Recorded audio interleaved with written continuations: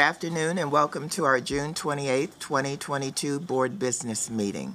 Welcome to our board members, MCPS staff, and members of our community who are joining us here today, and to those who are watching this media, this meeting via live stream on the MCPS website and MCPS TV. Let us begin by standing for the Pledge of Allegiance. I pledge allegiance to the flag of the United States of America and to the republic for which it stands, one nation, under God, indivisible, with liberty and justice for all.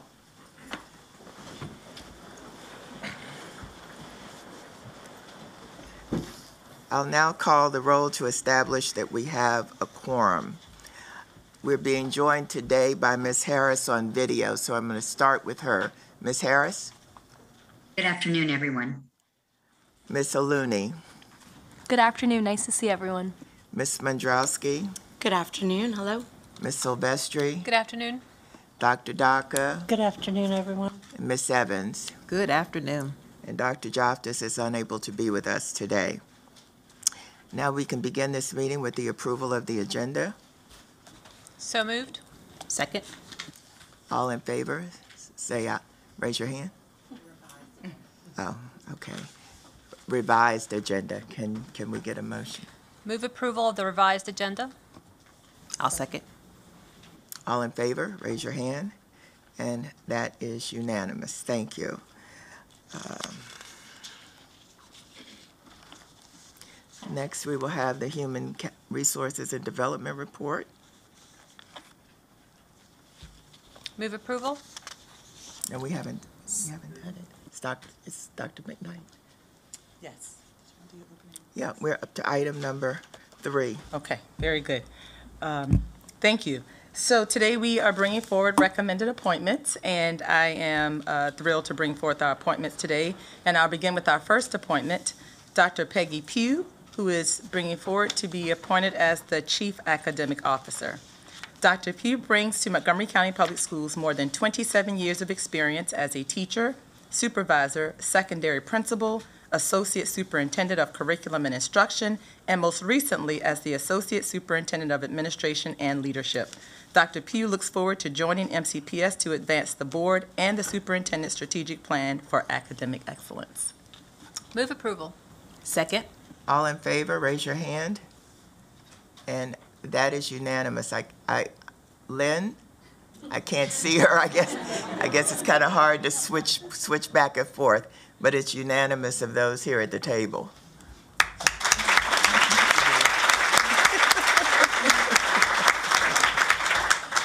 Thank you. Next, we are bringing forward for appointment Mrs. Diane D. Morris as the Associate Associate Superintendent of School Support and Wellbeing in the Office of School Support and Wellbeing. Mrs. Morris has been employed with Montgomery County Public Schools for 23 years as a special education teacher, resource teacher, student support specialist, assistant principal, principal intern, principal, director, and most recently as Area Associate Superintendent in the Office of Teaching, Learning, and Schools. Mrs. Morris looks forward to joining the Office of School Support and Wellbeing, where she will focus on improving student outcomes by promoting and supporting the well-being of students, staff, and the communities in which she will serve. Move approval. Second. All in favor, raise your hand. And that is unanimous of those at the table.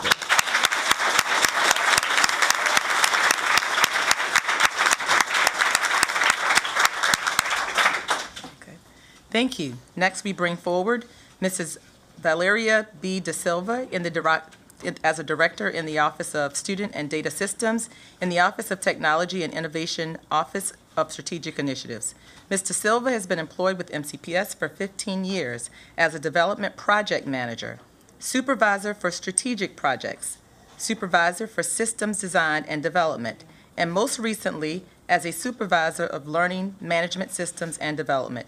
In her new role, Mrs. De Silva looks forward to continuing the partnership with MCPS leadership, offices, schools, students, and parents. Move approval. Second. All in favor, raise your hand. And that is unanimous.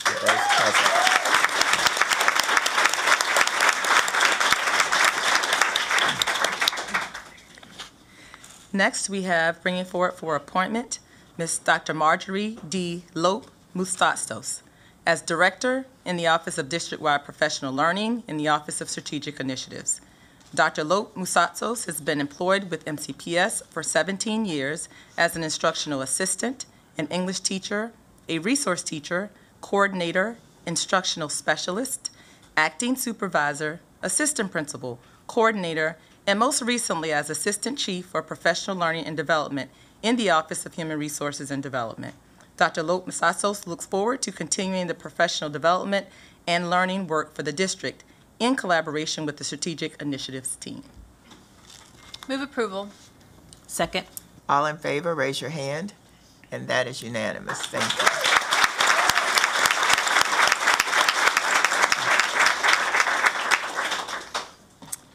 Next, uh, we have bringing forth the appointment of Mrs. Angela S. McIntosh Davis as the Director of the Division of Procurement in the Department of Materials Management in the Office of Finance and Operations. Mrs. McIntosh Davis has been employed with MCPS for more than four years as a team leader in the procurement unit. Mrs. McIntosh Davis has looked forward to assisting the superintendent in her mission and building upon her collaboration with schools and central office staff in providing products and services that best serve our students and staff. Move approval. Second. All in favor, raise your hand. That is unanimous.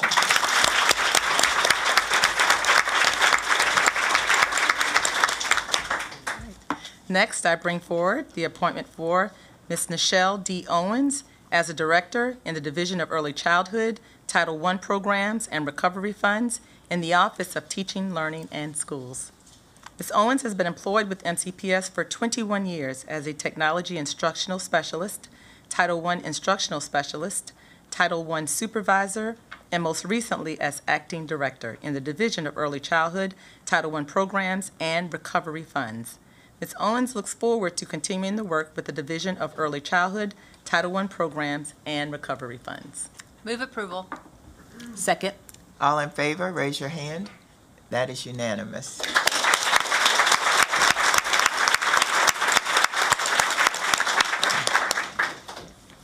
Next, we move forward for appointment Mrs. Catherine Breuer as Supervisor for Professional Learning and Achievement in the Office of School Support and Wellbeing.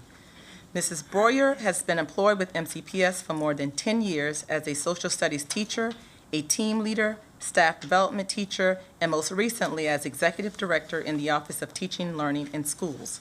Mrs. Breuer is passionate about the power of professional learning and giving all staff the necessary support to do their jobs effectively. She looks forward to supporting our schools by working with our talented learning and achievement specialists. Move approval. Second. All in favor, raise your hand. That is unanimous.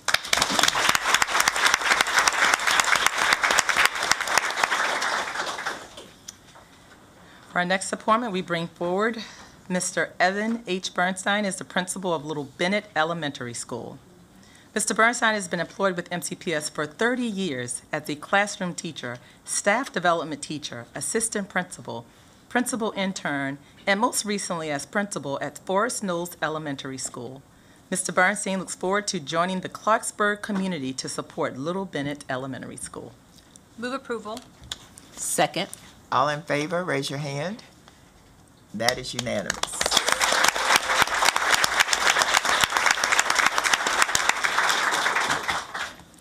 Thank you. The next appointment that I bring forward is Miss Anita Chan as principal of Carter Springs Elementary School. Ms. Chan has been employed with MCPS for 11 years as a classroom teacher, staff development teacher, assistant principal, and most recently as principal intern at Fields Road Elementary School. It is with great pride that Ms. Chan joins the Carderock Springs Elementary School to continue the school's long-standing commitment to excellence and to share the passion and love of learning so that all students can be challenged to reach their highest potential. Move approval. Second. All in favor, raise your hand. And that is unanimous.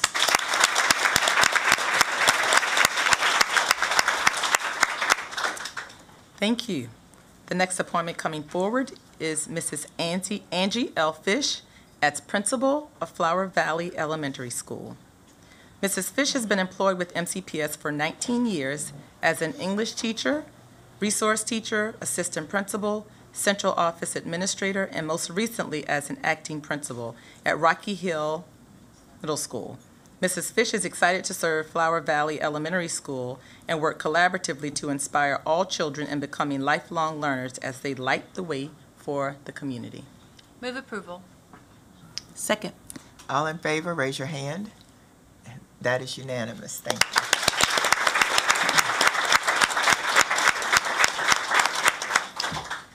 Next, coming forward for appointment is Mr. Brent T. Mascott as principal of Weller Road Elementary School.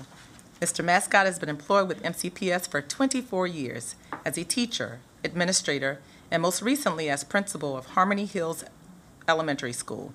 Mr. Mascott is excited to serve the Weller Road School community as its next principal. Move approval. Second. All in favor, raise your hand. That's unanimous. Thank you.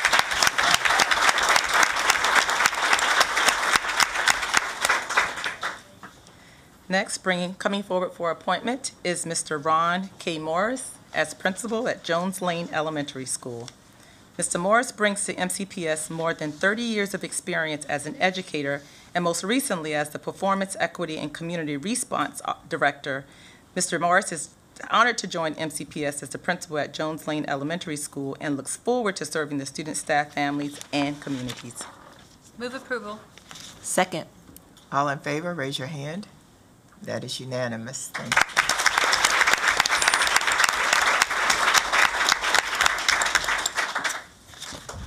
And our final appointment for today is Ms. Glit Zalkauer as principal of Stedwick Elementary School. Ms. Zalkauer has been employed with MCPS for 20 years as an English language development teacher, instructional specialist, and most, most recently as the principal at Highland View Elementary School. Ms. Zalkauer is thrilled at having the opportunity to partner with students, staff, and families of the Stedwick community. Move approval. Second. All in favor, raise your hand. That is unanimous.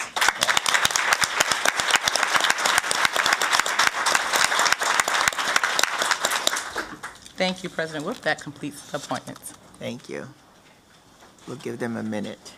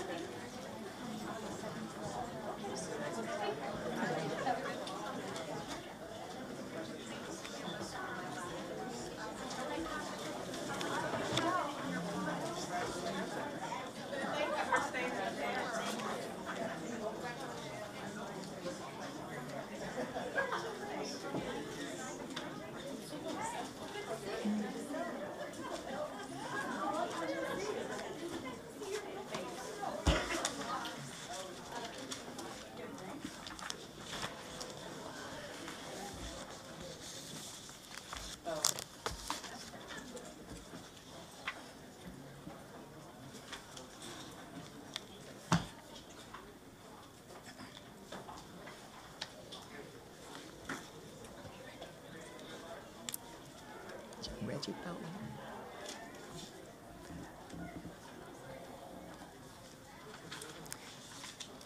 Okay, we're now up to item four, which is recognitions. And I'm going to take the privilege as chair of going before Dr. McKnight to recognize that we have lost a giant in the education field. Reggie Felton, who served on the board from 1994 to 2004, has gone on to glory. I hope people aren't offended by that. On June 11, 2022, he was the first African American president of the school board, and he continued to champion public education until the day he died. So, on behalf of the Board of Education, I'd like to offer this declaration. And I'm going to read it in its entirety. And when you have somebody that has done as much as Mr. Felton has done over the years, it gets rather lengthy, so I hope you'll bear with me. Whereas Mr. Reginald Reggie Felton, who passed away on June the 11th, 2022, devoted himself to public education, having served on the Montgomery County Board of Education from 1994 to 2004. And whereas Mr. Felton also served as the first African American to be elected the Board of Education president and was re-elected to serve as president for two more terms and vice president for two terms. And whereas Mr. Felton served on the Montgomery College Board of Trustees from 2007 to 2015, promoting partnership and support for students with a focus on early education all the way through to adult and senior citizen education. And whereas Mr. Felton was very active with the Montgomery County branch of the National Association for the Advancement of Colored People, where he served as chairman of the Freedom Fund Dinner, vice president for programs, and a member of the board of directors. And whereas Mr. Felton served proudly on the University of the District of Columbia Board of Trustees as treasurer and chairman of multiple committees, where he further displayed his devotion to public education. And whereas Mr. Felton was a civic activist who was a community leader and was appointed by the county executive to serve as the first chairman of the Silver Spring Center Citizens Advisory Board, representing and advocating for his community. And whereas Mr. Felton continued to serve his community as treasurer of the Rudolph W. Snowden Memorial Scholarship Fund and vice president and board member of the George B. Thomas Learning Academy, Incorporated, the longest continuous operating community-based tutorial program in Montgomery County. And whereas the legacy of service Mr. Felton bequests to Montgomery County Public Schools and Montgomery County is inspiring, and his efforts will long resonate. Now therefore be it declared that the Board of Education and Montgomery County Public Schools honors and remembers Mr. Reginald Felton for his outstanding work on behalf of children and families and joins with his family and the community in celebrating his life, his work, and his commitment to creating a more caring, equitable, and exceptional school system in county. Move approval? Second. All in favor, raise your hands. And that is unanimous of those that I could see here at the table. Uh, Would any board members like to say anything at this time before we move on? No, I'm glad you brought up the George B. Thomas Learning Academy and being the longest-serving organization with students, and he was one of the founding members as a member of Omega Psi Phi, which started this program, and, and George B. Thomas, of course, was a member of the organization as well. Thank you, Dr. Docca. Ms. Smondrowski? Yeah, I just want to echo your words about what a huge loss this is for the um, education, the world of education. Um, He was someone who not only dedicated his whole life to uh, advocating and being part of the educational world, he was a tremendous mentor to so, so many, including some of our state legislators and, um, and all of us as board members. Um, He was such a generous person with his time and um, information, and he will be very sadly missed. Thank you. Okay, at this time, Dr. McKnight, you can proceed. Thank you, President Wolff, and I too extend my deepest condolences on behalf of the MCPS family to Mr. Felton's um, family. Uh, This is a significant loss for our community, and I hope that his family knows that we as a school system, um, along with the board, will be there to support in any way needed. Um, I do have a number of recognitions that I am excited to bring forward today. Um, and the first recognition I have is recognition for the Distinguished Hispanic Scholars.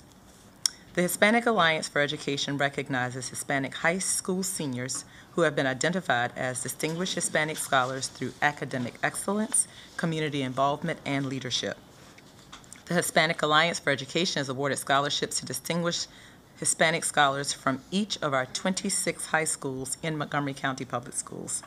Montgomery County Public Schools honors and supports the many contributions of Hispanic American students to our schools, our community, our state, and our country.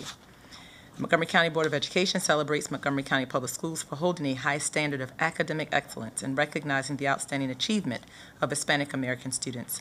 Now therefore be it resolved that on behalf of the interim superintendent of schools, staff members, students, and parents and guardians of the Montgomery County Public Schools, the members of the Montgomery County Board of Education, we congratulate the recipients of the 2022 Distinguished Hispanic Scholars Award.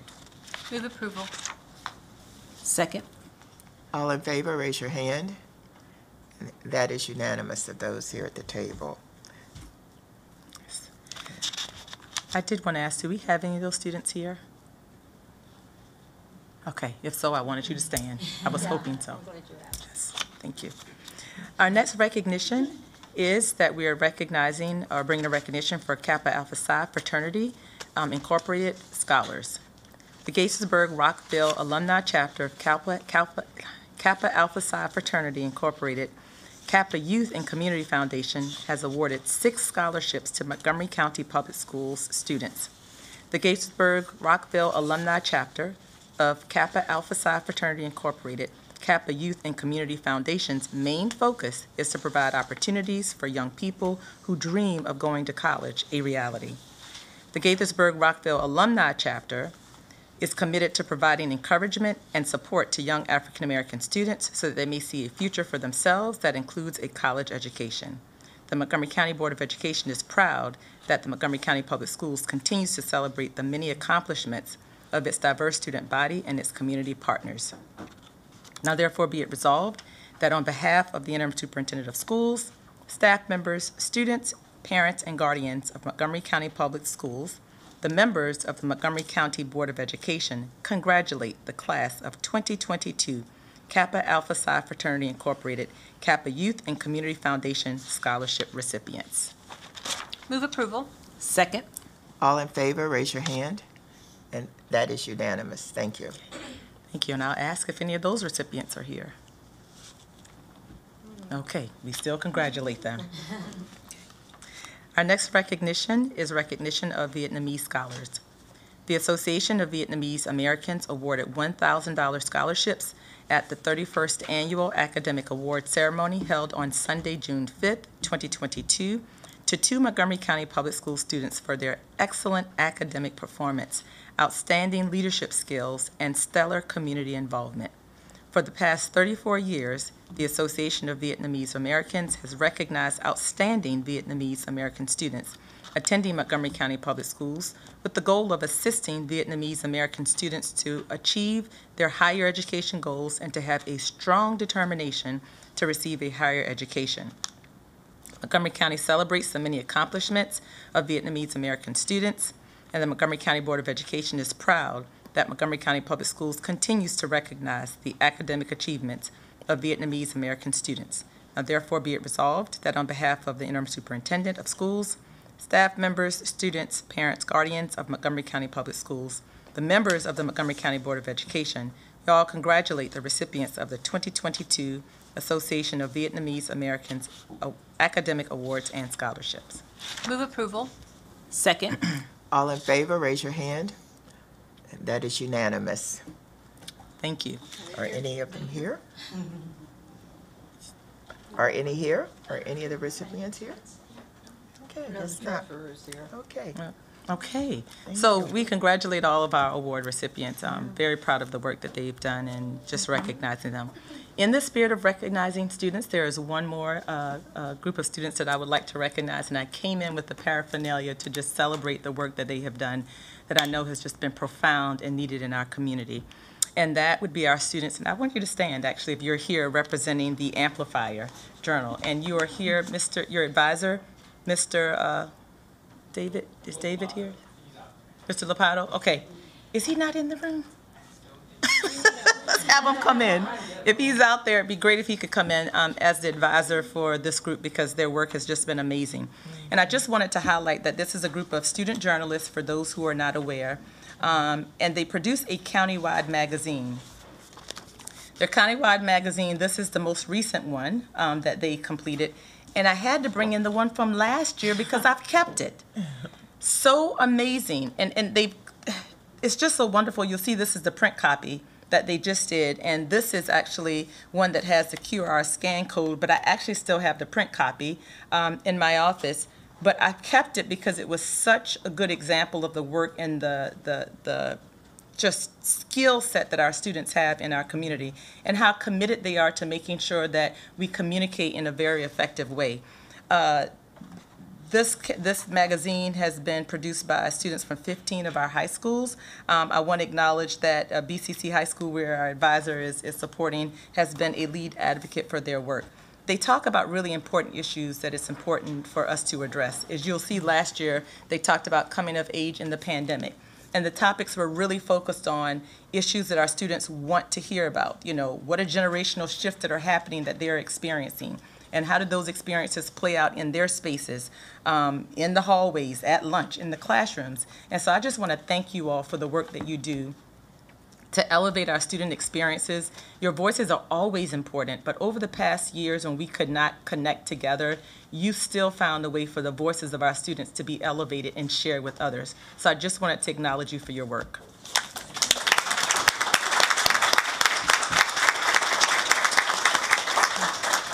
And if you did not get a copy, they are also such good stewards. They left copies in the front office, um, and they're all around Central. And again, um, if you haven't had the experience of, of seeing one of these, um, the work from our student journalists in the magazine, please grab one and take a look at it so that you can feel the same pride that I'm feeling about the voices that they capture in this written piece. Thank you. Thank you. Our next item on the agenda is public comments. Public comments is one of our opportunities to hear the views and receive the advice of community members. Board members will take your comments into consideration, but it is not our practice to take action at this time on issues that are raised. We encourage public input on policy, program, and practices. This is not the proper avenue to address specific student or employee matters, so we encourage everyone to utilize existing avenues of redress for complaints. This is a public meeting, and we expect the conduct of all speakers and members of the audience to be within the bounds of proper etiquette. Inappropriate personal remarks, rude retorts, or other such behavior is out of order and will not be tolerated. Those who demonstrate disruptive or disrespectful behavior during public comments may be asked to leave the room. Please check our website for information about upcoming board meetings, hearings, and work sessions, including any changes to our meeting start times. We have three people signed up to provide in-person testimony. Each speaker will receive two minutes for comments. When your name is called, please approach the table, speak clearly and directly into the microphone. 30 seconds prior to the expiration of a speaker's time, a yellow light will go on accompanied by a beep. A red light and a buzzer signals that your time has expired. Please push the flat button below the microphone to turn it on and begin speaking. Push the same button once more at the sound of the buzzer to turn it off. In addition to our in-person speakers today, we have four video presentations. We will play these submissions once the in-person testimonies have concluded. Copies of testimonies can be found on board docs where they are posted with the other materials for this meeting. At this time, I'm going to call Eckert Schneider, Thomas Murphy, and Hillary Swab to the table.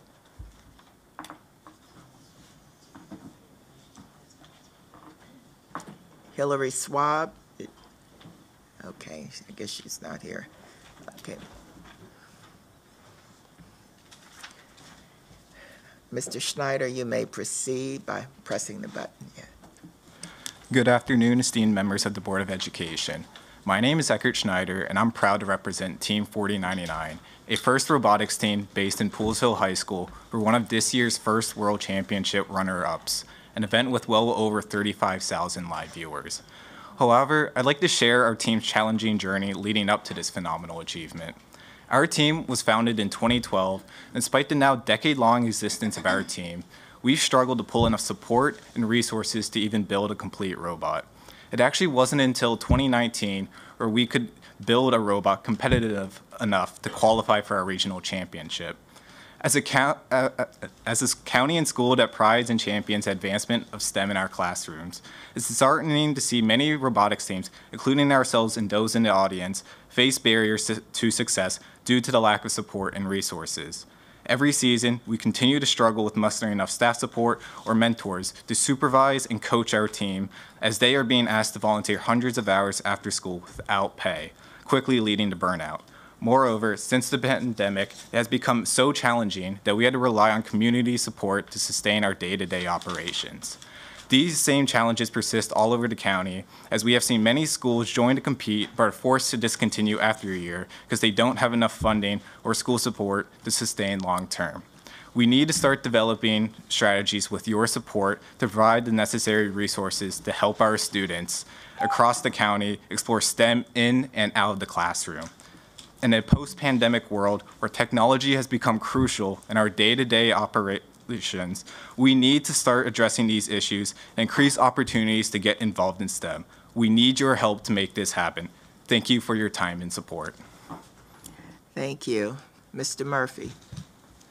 Good afternoon, Madam President, Dr. McKnight, members of the board. I'm Tom Murphy. It's a pleasure to be here. I wrote a statement, which I hope you'll consider, and I'll just summarize it here. At your last meeting, you voted to postpone adding financial literacy to the curriculum. I understand your reasoning, but I still think that's a mistake. Prior to your decision, you heard impressive, serious presentations from students showing the need here, and I commend them and Ms. O'Looney in particular for pressing this matter so persuasively. You reportedly said in rejecting the proposal you're concerned about conforming with the education portions of the pending blueprint for Maryland's future. That's a reasonable concern, but if it's really a constraint here, I think it represents a case of the tail wagging the dog. You should not be faced with finding a way to fit financial literacy into this plan if the plan doesn't include financial literacy as a core education requirement and also give you room in the curriculum to deal with it. It's not a future plan at all because our students are our future and they know what they need and have said so. And I think you should push back on this as appropriate. This matter has been examined at length previously. The evidence of the need is clear. It's a mistake to kick this can down the road again, and doing so does not benefit our students long term. This is a real curriculum need we must face promptly if we're really doing our jobs as educators and parents. It's also a major equity issue because due to economic circumstances, some of our students may be able to learn some of this material at home, but others won't always have that opportunity. To be fair, financial literacy needs to be part of the curriculum for every student, and it really should be there now. Awaiting the outcome of an extended top-down deliberative process should not be an option. Thanks for your time. Thank you. We also received four video testimonies. First up is Jennifer Martin. Please play the video. Good afternoon. I'm Jennifer Martin, President of the Montgomery County Education Association, representing over 14,000 MCPS workers. Thank you, Dr. McKnight and members of the board, for granting MCEA the opportunity to speak to you today.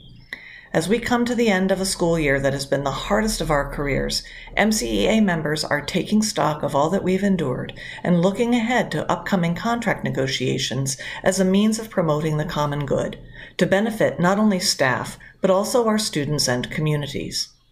I don't have to remind you that the last few years have been tiring and filled with anxiety for all those involved in MCPS, including you all as administrators of our school system. But in the storm of relentless and unexpected challenges over the last few years, we educators have persevered. Under crushing workloads that have exhausted and demoralized staff, our dedication and commitment to serving the young minds of Montgomery County nevertheless remains strong. Although difficulties persist, educators have routinely delivered high quality learning with care and compassion to meet students' needs. We have answered the calls of our communities and students.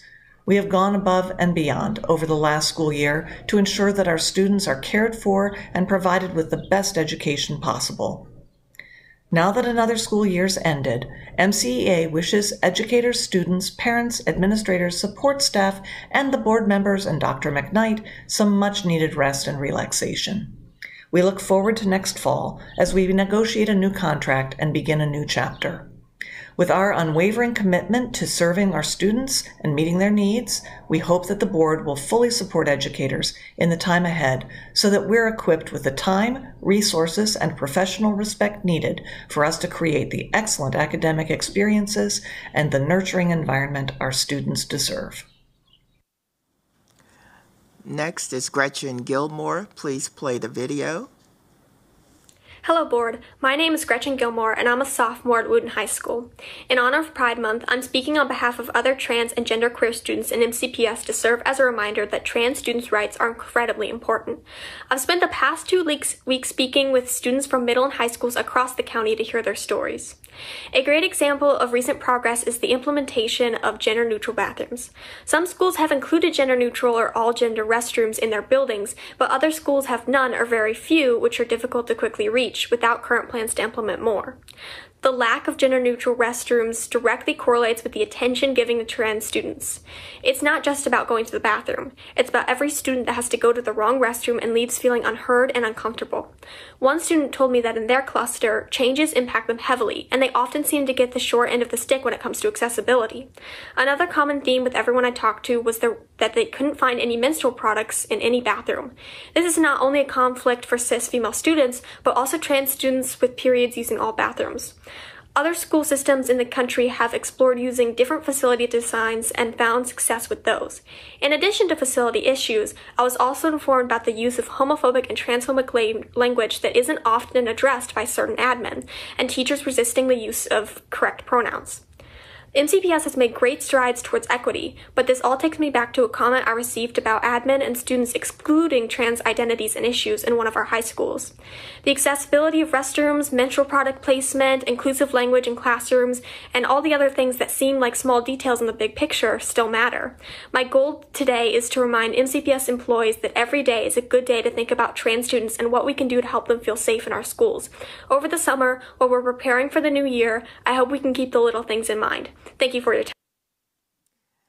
Next is Sia Badri. Please play the video. Hello, my name is Sia Badri, and I'm a rising senior at Wootton High School. Ever since I can remember, I've always learned about white men. Reading Animal Farm in eighth grade, learning about Faraday's constant in chemistry class, studying Christopher Columbus's effects on global trade. And although it never felt intentional, I always felt an inexplicable detachment from the material taught in school. It it always made me feel less than. Like my life and my identity weren't uh, significant enough to be shown to my peers or the world. According to the MCPS website, 73.1% of students identify as people of color, so we must represent them for a more inclusive and welcoming society. When discussing widely known movements, many fail to mention women of color.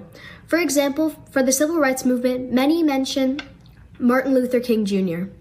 Although his legacy goes without saying, it is vital to learn about the women who made significant contributions to the movement.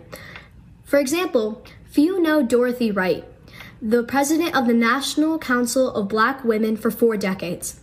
At the most well known um, civil rights protest, the March on Washington, women weren't even allowed to speak, and Height was one of the women who was denied.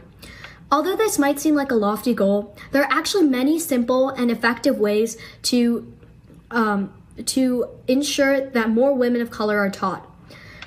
More books should be added to the MCPS school curriculum about marginalized people's experiences, and not just in the US, but internationally.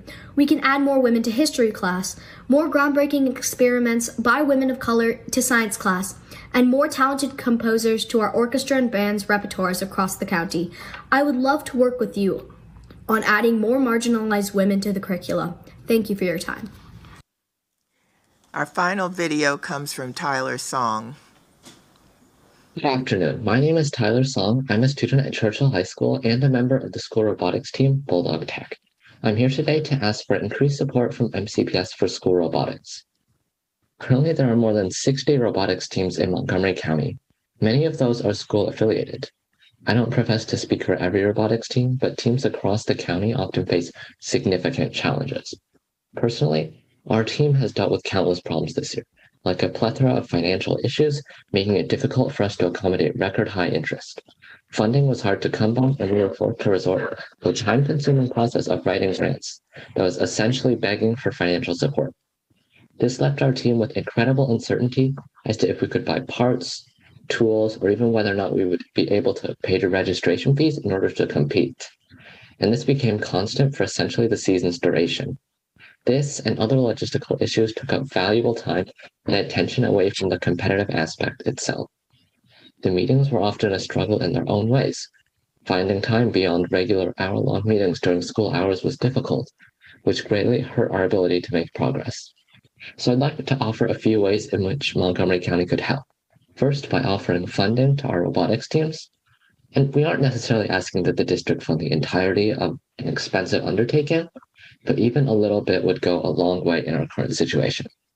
Um, we could also con- provide compensation to teachers and mentors who dedicate their valuable time to helping students explore their passions for engineering and technology. STEM careers are more important than ever in today's society, and robotics is a great way to grow interest in it. Participants in FIRST Robotics are more than twice as likely to enter STEM fields, especially females, meaning that it plays a role in closing the gender gap as well. Through our struggles in the past year, we've witnessed firsthand the adversity and challenges involved in running a FIRST team with limited resources. But this isn't just about us, it's about all MCPS school teams. We look forward to building a relationship in the future, if possible, so that every team can perform their best. Thank you. This will conclude our public comments. The next business meeting of the Board of Education for public comment is Tuesday, July 26. Sign-ups will open the evening of Tuesday, July 19th. In addition to the online sign-ups for public comment, we will return to the practice of in-person, same-day sign-ups when space allows. Beginning July 26, unlotted slots may be filled on a first-come, first-served basis on the day of the meeting. In order to sign up in person, please arrive at least 15 to 20 minutes before the start of the open session and sign the form. In-person sign-ups will close 15 minutes before public comments begins or when all slots are filled. So I would like to, to thank all of our students who came in today. And I just wanted to know if we could get some information about uh, these robotics teams and any support that's being provided, um, and whether or not there's any ability to provide support or teacher compensation. I know you may not have that information now, but if you could just get that to us, that would be greatly appreciated by me. I also wanted to thank Sia Badri because she raises an important issue of inclusiveness, which is an issue that we are constantly, you know, striving to achieve. So I would really hope that we could work on getting women included in the curriculum. I know it's probably some in there, but I think we do need to look at the curriculum in terms of inclusiveness for all, all areas. And my last comment is that um, about menstrual products in bathrooms. I don't know whether or not, I thought we had taken care of that problem, but apparently, which school was that? Um, um, Gretchen Gilmore is at Thomas Wootton. There must be some issue over there. Could we have somebody check on that? Yes. Thank you. Does anybody else have any comments? Ms. Smondrowski? I was just going to add on to what you said, um, in, including in the, um, you know, um, non-gendered bathrooms as well, because I, they might be in the, the ladies' rooms, but not in all of the bathrooms. And then, um, I also just wanted to, um, thank, um, Gretchen Gilmore. Um, I loved what she said about today's, today's a good day to, to, to start advocating and to remember, um, the good things. So, um, thank you for the- our students. Anyone Yes. else? Dr. Yes, uh, yeah, thank you. I wanted to uh, thank uh, the uh, young woman who, Siri, I think, Badri, uh, for talking about uh, women and students of color. We are looking at our curriculum now, and we're going to be talking about it um, uh, elementary in a few minutes. And I noticed that they have made some changes in their categories in there, which I really think are good. It's not just slavery with black people, but African American history. I noticed that that was a big change, and I think it's important. And we do thank you for your comments on the LGBTQ issues and bathrooms. And um, I also wanted to uh, thank Mr. Murphy for coming. Uh, I know Miss, Mrs. Smondrowski and I are the ones who have worked the longest time with Mrs. O'Neill, and we know that you were one of her friends and her advisor. And uh, thank you for supporting Hana's idea about, um, about finances, and we know how important that is. But I, I'm sure that we're going to do it, Hana. We'll name it after you when we do. You finished, Miss O'Looney. Yeah, um, I actually have an answer to the, the question about menstrual products. Um, that was an issue that I worked on for before financial literacy. That was my big thing. Um, so um, we, as a school system, all local school systems in Maryland are required to install free menstrual product dispensers, two in every secondary school and one in every elementary school by October of this year. And then by October of 2025, in three years, we're required to have them uh, by state law in all female designated bathrooms. But last time we discussed as a board, um, it really feels like there's a commitment from our school system in particular to go above and beyond that requirement. As Ms. Gilmore mentioned, it is Pride Month, so the importance of placing those products also in non binary restrooms as well as male restrooms. So, in the spirit of celebrating things that our school system is uh, taking the lead on, I thought that was important to call out. Um, I also wanted to thank our students from robotics teams for coming out and testifying.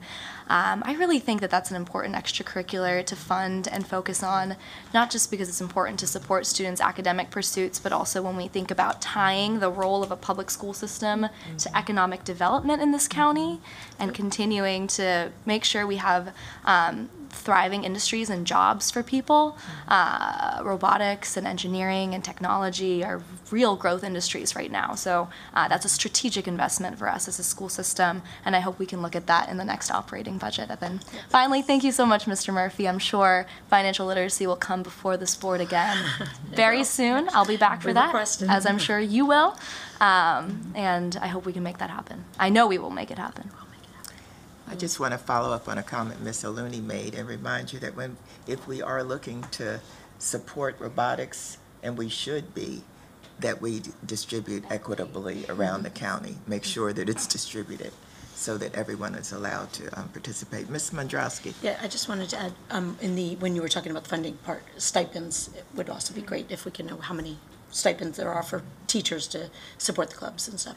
Um, but I really wanted to take this second to, um, acknowledge that, um, today is our last board meeting with Ms. O'Looney, and um, just mentioned that you will be very, very missed. And I know we're doing a swearing out, but for, for public reference, I just wanted to, uh, to put it out there that you've been a tremendous asset and incredible advocate, and very, very um, loved and appreciated. So, good luck. Ms. Silvestre? Yes, um, thank you for coming to testify in person and all the video testimony that we received as well. Um, so just as, if am understanding this correctly, this must be not funded because they're not official uh, programs of the school, but rather affiliated, as was stated, because every school gets funding to support after-school activities and stipends for teachers so that they can be compensated. And so it's an, I think it's an issue of adopting it as a school-sponsored activity, which, um, like I said, every principal makes decisions about which activities uh, fall under this category or not, if I'm, if I'm not mistaken, um, Dr. McKnight. That is correct. Um, First, I want to say thank you for coming forward. We need robotics teams in every single one of our schools for the reasons that Ms. Ola- um, mentioned earlier. I mean, you're leading in a lot of the work that, that's really dictating the workforce in the future. And so I just wanted to start with that. So the system does see this as a very important um, activity, and we want to continue to support. To what you mentioned, Ms. Silvestre, so every school does have an extracurricular activity fund. As a matter of fact, we recently increased the amount to schools to be able to utilize that extracurricular funding, um, uh, which can be available to support. clubs and, and student interests. So it really is up to every school to determine how that is allocated. Um, and so we know that different interests are you are, are elevated in different schools, and the students should always drive that. Um, but as I listen to you talk, I, I, I am thinking one of the things that we're going to need to do is really work with our school leaders on how we're looking at what is fiscally available and making sure that it's being contributed to. Um, many of the organizations or the clubs that we see as important that, you know, there's a need to be able to support that. And if we find there's a conflict, um, then that's why we're here, central to be able to put the support in place. So I think there are two things that we will follow up there in terms of working with our school leaders to get an assessment of what some of those issues are, and then if they need the additional support and can't reallocate based on what they've been given, then that's absolutely something that we can address. Thank you for bringing this forward um, to our attention. Yeah, you, you talked about increasing the stipend funds, and since Dr. Smith came and since you have been here, you have done that. And there's some uh, organizations after school that are traditional, and they're always funded, and then the stipends are gone. So you- we do need the extra stipends for uh, robotics and some of the other uh, organizations that really contribute to students. And I just wanted to say thank you again to uh, Mr. Murphy for your testimony. Uh, Agree completely that financial literacy is a must uh, for our students. And uh, just for the public, and just to remind everyone, yes, now every high school will offer it as a class, uh, an elective. We didn't have that before, and now every high school will offer it.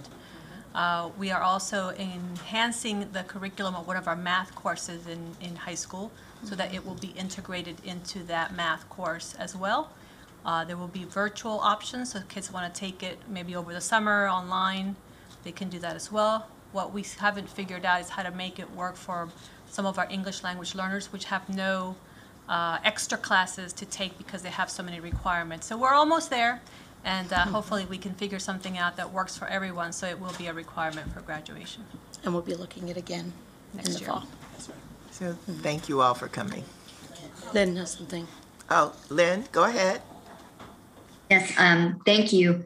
Um, first, I wanted to just add on to some of the recognition we did earlier for the uh, students and their sponsors who created the Amplifier um, system-wide student magazine because um, they've received um, an amazing level of support from our print graphics department. And I have, you know, here, you probably can't even see them, but um, uh, a sampling of the programs from the commencement ceremonies I attended this, you know, in this commencement season. All of them different, beautiful, honoring the traditions of each individual high school, but produced by our print graphics team, along with the what I think are the highest quality and nicest diplomas in the state of Maryland. So I just wanted to acknowledge how much work our print graphics team is doing to support our student journalists and our student graphic designers and all kinds of the work throughout the system. Um, and but I did, and I did also want to raise um, one of the things that Ms. Gilmore mentioned in her testimony. And thanks to to Mr. Snyder and Mr. and Mr. Song, and I'm glad that we're going to be out to partner with them to figure out the constructive ideas they've had to better support the robotics teams throughout the county. Um, but um, Ms. Gilmore, one of the things that I've heard a lot from students across the county is uh, surrounds the, the issue of preferred names and how they may have an, um, you know, their, their school or their, their regular classroom teacher may honor preferred name issues, but if a substitute comes in, the, the um, class list they get from the main office does not contain a student's preferred name. And um, if there, you know, if we can look into normalizing and regularizing and, and reducing the, the bureaucratic burden on students to get a preferred name included in their school records so that in whatever classroom milieu venue they find themselves whomever they're working with addresses them by their preferred name um, i think that would be a, something that our our students would appreciate Thank you, Ms. Harris. I just wanted to say you're absolutely right. The print department does a fabulous job, as does our TV department, as do our photographers that are all around. People don't realize how many behind-the-scenes people that we have that really, really support us and our students long after the school day has ended, so thank you. Ms. Smondrowski? Really quick, just, um, not that, I don't want this to take away from our responsibility of funding uh, stipends and clubs, but I also did want to put out there, um, you, to help spread the word, the MCPS Education Foundation um, has grants that can help support some of these type of programs, even if we offer some funding, but it's not enough. So just something to keep in mind. Okay, thank you. So we're now up, One quick thing. Okay. Um, I wanted to add on to Ms. Harris. I know previously we had the technology office come to the board and talk about feedback sessions that we have with different services that we use. Um, a, a suggestion that I might have is to reach out to um, our student view service um, and see if there is some way we can have students input their preferred names as well f- as pronouns so they automatically go on any attendance registry. thank you for that. Thank you. I just wanted to make a quick comment. Thank you, Ms. O'Looney. We will take that recommendation. Ms. Sharon is over there nodding her head, um, and we'll follow up to do that. And I, I do want to say, um, you know, we, we've set up a, a set of comprehensive guidelines for gender identity, and we did that as a system to ensure that we create the safe spaces with guidelines so that all of our students would be respected.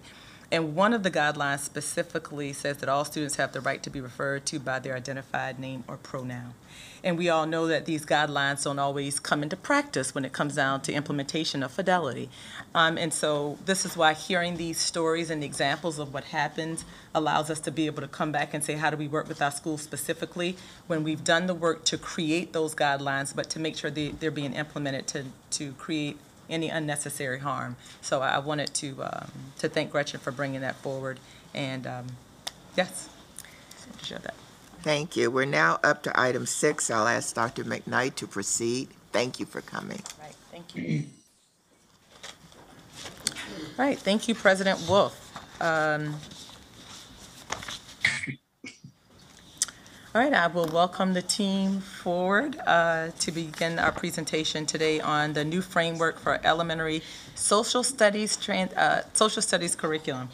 I am very excited about us having this discussion, and I went back to public comment just now. Sia Badri is a perfect example of why the conversation we're having today is really important.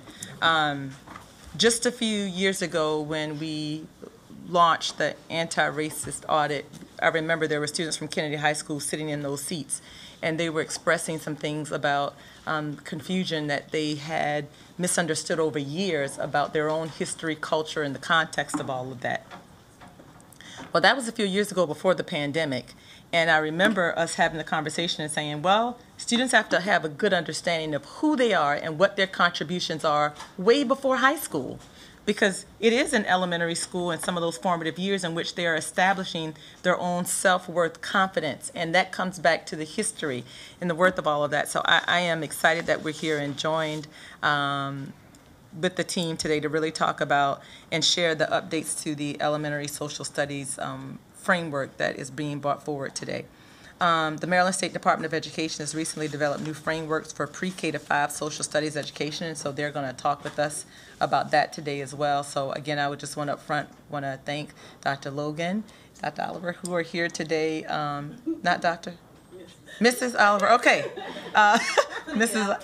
Yes, putting it out there. Um, Ms. Oliver today because I, Oliver Gary, because I know they both have been working on this over time and have gotten lots of input from different stakeholders who are invested in this work. And so I just want to thank you for putting the time and attention into this because focusing on what we do with our elementary students is really going to build a strong foundation moving forward.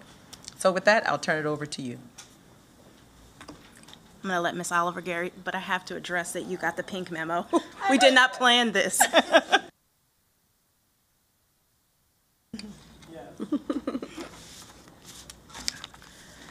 I would like to start my presentation by thank you all, thanking you all for this time to present the changes to our elementary frameworks and our curricula based on the MSDE revisions. As a result of the revisions, this year we have been drafting our grades five, four and five social studies frameworks of which you received access to prior to this meeting in the board memo. With the approval of this Board of Education, MCPS will forward will move forward with the grades four and five frameworks for full development to be implemented in the 2023-2024 school year. Next slide, please. Next slide, please. Yeah, this, on this one, yes. Social studies instruction is essential to the education of our students and society at large. Research has shown that when students receive consistent daily social studies instruction, elementary students, lit- students' literacy skills increase. According to a Fordham Institute study, this is especially true for our emergent multilingual learners, or ELLs. It's important for our girls and students living in poverty. Natalie Wexler explained in The Knowledge Gap that social studies provides an understanding of the background knowledge and context in which ELA texts are situated, but are not explained. They are not explained because the author assumes that the students know that background knowledge and context. Without a doubt, and I am a little biased, social studies, social studies is the subject in which students engage in their daily lives and helps them to be productive participants in their communities. Social studies instruction promotes positive social behaviors, encourages students to build empathy and understanding of others, helps students to develop their problem solving skills, and allows them to make real world connections to their, to their learning. MSDE has revised its elementary social studies frameworks with the goal of students being able to actualize all of these conclusions. Next slide, please. COMAR mandates that students learn about the six social studies standards. The previous MSDE frameworks included five of the six, which were civics, economics, peoples of the nation and world, which is basically culture, history, and geography. The sixth standard, social studies processes and skills, will be new for our elementary students and teachers. However, social studies processes and skills are not new for our secondary teachers and students. Next slide, please. Social studies processes and skills are disciplinary and inquiry literacies students employ to gain knowledge and understanding of political, historical, and current events. The way in which students should engage in social studies instruction should include reading and analyzing a variety of primary and secondary sources while applying social studies disciplinary literacy skills, or social studies thinking skills as we call them in MCPS. MSDE has adopted the Career College and Civic Life C3 framework as the foundation for inquiry literacies.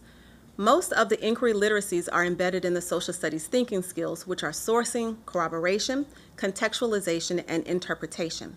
Currently, our secondary students learn how to apply these skills as they learn content. The MCAP, Grade 8, and government assessments include the social studies processes and skills. Our elementary students will be taught social studies processes and skills based on their age appropriateness and in an age appropriate way. The goal of the MSDE revised frameworks is for students to develop the skills to identify problems in society and figure out ways to take informed action to do their part in holding our government and residents accountable to work towards a more perfect union that serves the common good. Next slide, please. There are additional major changes in the MSDE frameworks other than the social studies processes and skills. As I just stated, a major goal of social studies in Maryland is for students to become active participants in our democratic society. The focus on advocacy will be new for grades kindergarten through three. Our first and second grade students will be exposed to economic concepts such as systems of production and understanding the impact of economic choices. Just as students will be taught the social studies processes and skills in an age appropriate way, the same will be true for these concepts. Second and third graders will now have lessons on environmental literacy, including on how humans impact the environment. However, the biggest changes in the MSDE frameworks are in grades four and five. The frameworks are not organized by standards as they were previously, but are chronological to mirror how U.S. history is taught in U.S. History 8 and U.S. History 9. What was previously taught in fifth grade, such as early American history, will now be taught in fourth grade. The fifth grade content will start with the U.S. Constitution, and it will end in contemporary times. Both grades four and five will have expanded learning on African American history. Next slide, please. MCPS will implement our new frameworks incrementally. Last spring and summer, we gathered feedback from multiple stakeholder groups to hear from them about the things they wanted in our revised curricula. Last summer, we were able to hire teachers to compare the MSDE revised frameworks with the old frameworks to identify new content. This school year, the social studies team has been drafting grades four and five frameworks. This spring, we have been getting feedback on the draft frameworks from, from various stakeholders. In the upcoming fall, we will enter a request for proposal process for grades four and five to then implement new curricula for grades four and five in the 2023-2024 school year. Next spring, we will enter a request for proposal process for grades kindergarten through third grade. However, we will implement, implement new curricula for grades two and three in the 2024-2025 school year. And in the following year, which is going to be the 2025-26 school year, we will implement new curricula for grades kindergarten and one. Next slide, please. As I just mentioned, OSIP received feedback prior to the creation of our revised frameworks and is in the process of getting feedback on the draft frameworks from stakeholder groups. In the spring of 2021, we surveyed school staff members to better understand the state of social studies instruction in our county, as well as for them to provide feedback on what they wanted to see in the revisions. We also asked social studies liaisons or social studies representatives to facilitate focus groups at their schools for grades um, for students in grades three through five. We held focus groups with teachers, MCCPTA representatives, and members of our action groups. This spring, we will have we have received feedback on the revised grades four and five frameworks from teachers, staff development teachers, reading specialists who support social studies, and the Curriculum Advisory Assembly, in addition to the Labor Management Collaboration Group. And we are in the process of gathering feedback from community stakeholder groups to finalize our frameworks. Next slide, please. While we will purchase curricula for grades kindergarten through five, OSIP will need to work with teachers to create lessons that the vendor may not have, and those are gap lessons. Additionally, we may need to work with the vendor and our teachers to refine any lessons after they are implemented. Next slide, please. Our social studies curriculum frameworks will include our scope and sequences as well as other required components. Not only do we include the content from MSDE's frameworks, social studies processes and skills, but also we are required by COMAR to expose students to personal literacy, personal financial literacy standards, and environmental literacy standards. Due to the amount of content that is included in the MSDE grades 4 and 5 frameworks, we have devoted an entire marking period to um, in grade 3 for personal financial literacy, which is a substantial upgrade in our elementary um, curriculum. Next slide, please. Additional goals that have influenced our framework development based on feedback include embedding our local Montgomery County history in our curriculum, providing opportunities for students to connect what they are learning to contemporary issues and events, and embedding social justice standards as well as anti-bias and anti-racist content to include the narratives that represent our student population. The social justice standards are developed by Learning for Justice and promote anti-bias education by providing age-appropriate indicators that build students' capacity for opposing prejudice and taking informed collective action. Next slide, please. Because the social studies curriculum will have many changes, teachers will need professional learning. It will be imperative for MCPS to provide professional learning on the new content, including the vendor product, but especially on the history of African Americans. Teachers will also need access to learning to build their content knowledge of other historical, historically marginalized groups that will be included in our curriculum. And grade five teachers will need to learn about the contemporary period. Teachers will need to learn how to teach social studies using social studies processes and skills that include the inquiry literacies, social studies thinking skills, document analysis of varied primary and secondary sources, and teaching students how to take informed action. English language arts is not the only time students practice their literacy skills. As I stated at the beginning of my presentation, social studies is a literacy subject. OSIP social studies and ELA teams will work together to identify literacy connections that are introduced in the ELA block that can be reinforced in the social studies block. We will need to provide professional learning to teachers on how to seamlessly interweave the literacy connections in their lessons.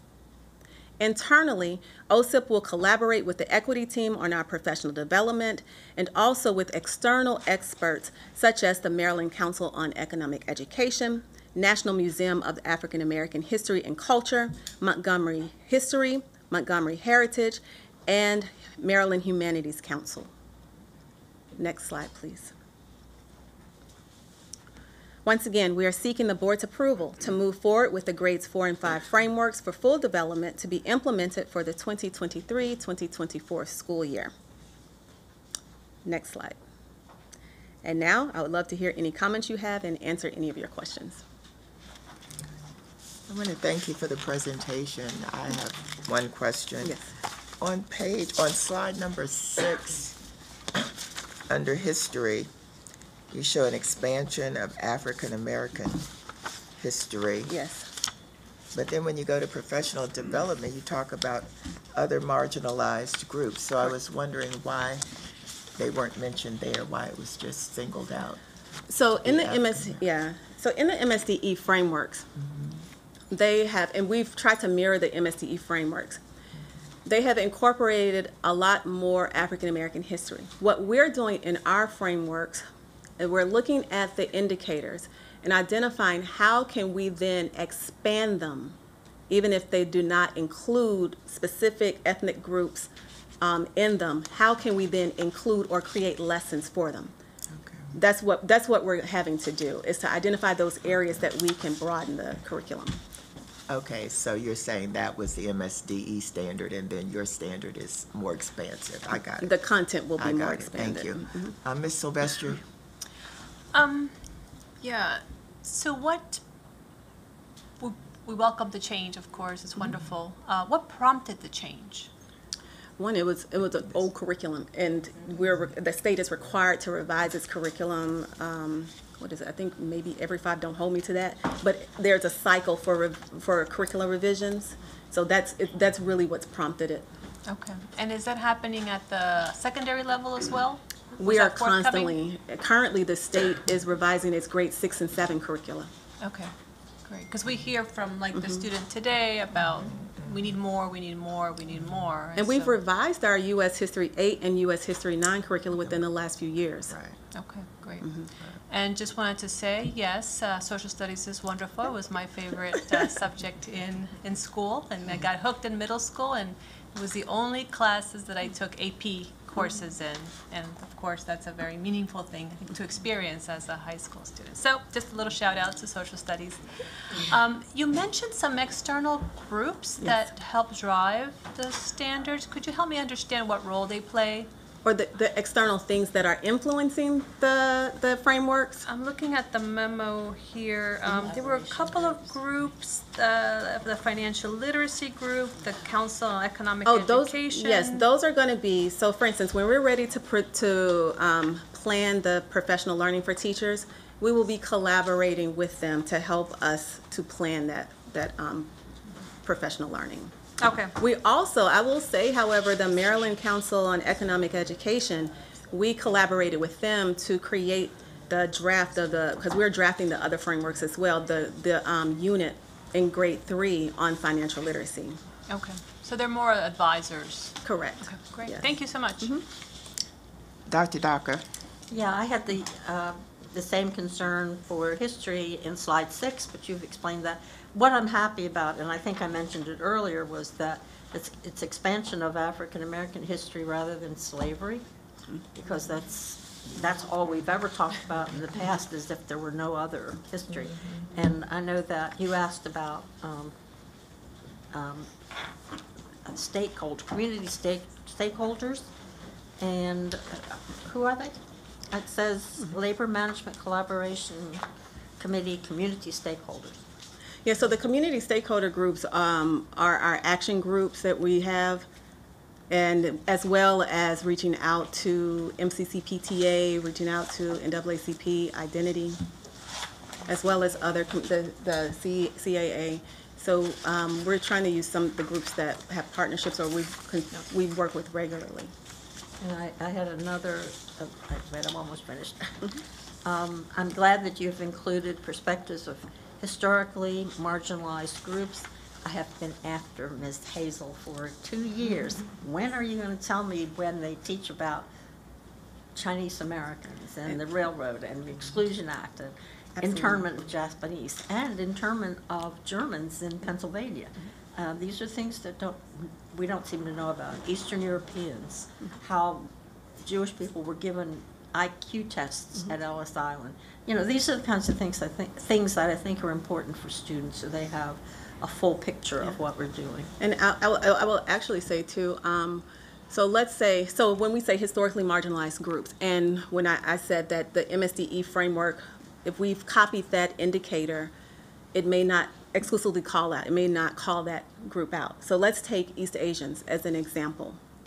So not only do we have the um, westward, westward expansion and the railroads, but we also then pull in the Chinese Exclusion Act, and we also then pull, pull in the Japanese imprisonment camps, and then we also then pull in the COVID-19 um, hate crime act to show, and then to talk about what was going on in the past, how do we see the manifestations of some of these things in, in the present, how do people respond to them?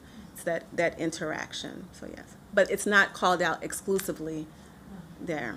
No, I just want them Mm-hmm. We're, we're, we're trying, my, the, the goal is that students should be able to see themselves in the curriculum. And if something is not specifically stated, then an indicator or a, a lesson should be crafted in a way, or there are multiple opportunities in which students should be able to use inquiry, the processes and skills, a project, project-based learning, that if whatever they, what they don't see and what they want to learn about, they're able to be able to do that in that social studies lesson. So if there's not an indicator, they have opportunity to learn about their history and then to um, educate their peers as well on it. So that, that's, that's the goal. Ms. Evans? Sure, um, so excited about the changes, thank you. Um, we have had, um, students come before the board as well as, um, parents sending email about, um, changes to our curriculum in social studies, but I'm glad to see that we're doing it in elementary, particularly around helping our students to focus on being able to advocate, right? Environmental literacy. Um, I love that we're embedding financial literacy at the third grade level. So I think you answered my question. I was going to ask, what what type of supports will we provide for teachers if in the I, I know we're going to provide them professional development, but if in the moment something should arise, how could they get that support? Is there something they can go to? to you know how how we've had you know different issues happen in um, in our world, current events, and if in fact they can't um, draw or pull upon their own knowledge, is something that they can go to to help them to be able to support the students in the classroom. So what we're planning right now, and actually um, some more, some of this professional learning is in the works right now. We were able to hire teachers this year to create modules on um, American slavery. That will, they would be voluntary. They're just, if they want to start learning now, they can start learning now. And it's like a four-part, four-part module, four different modules on it.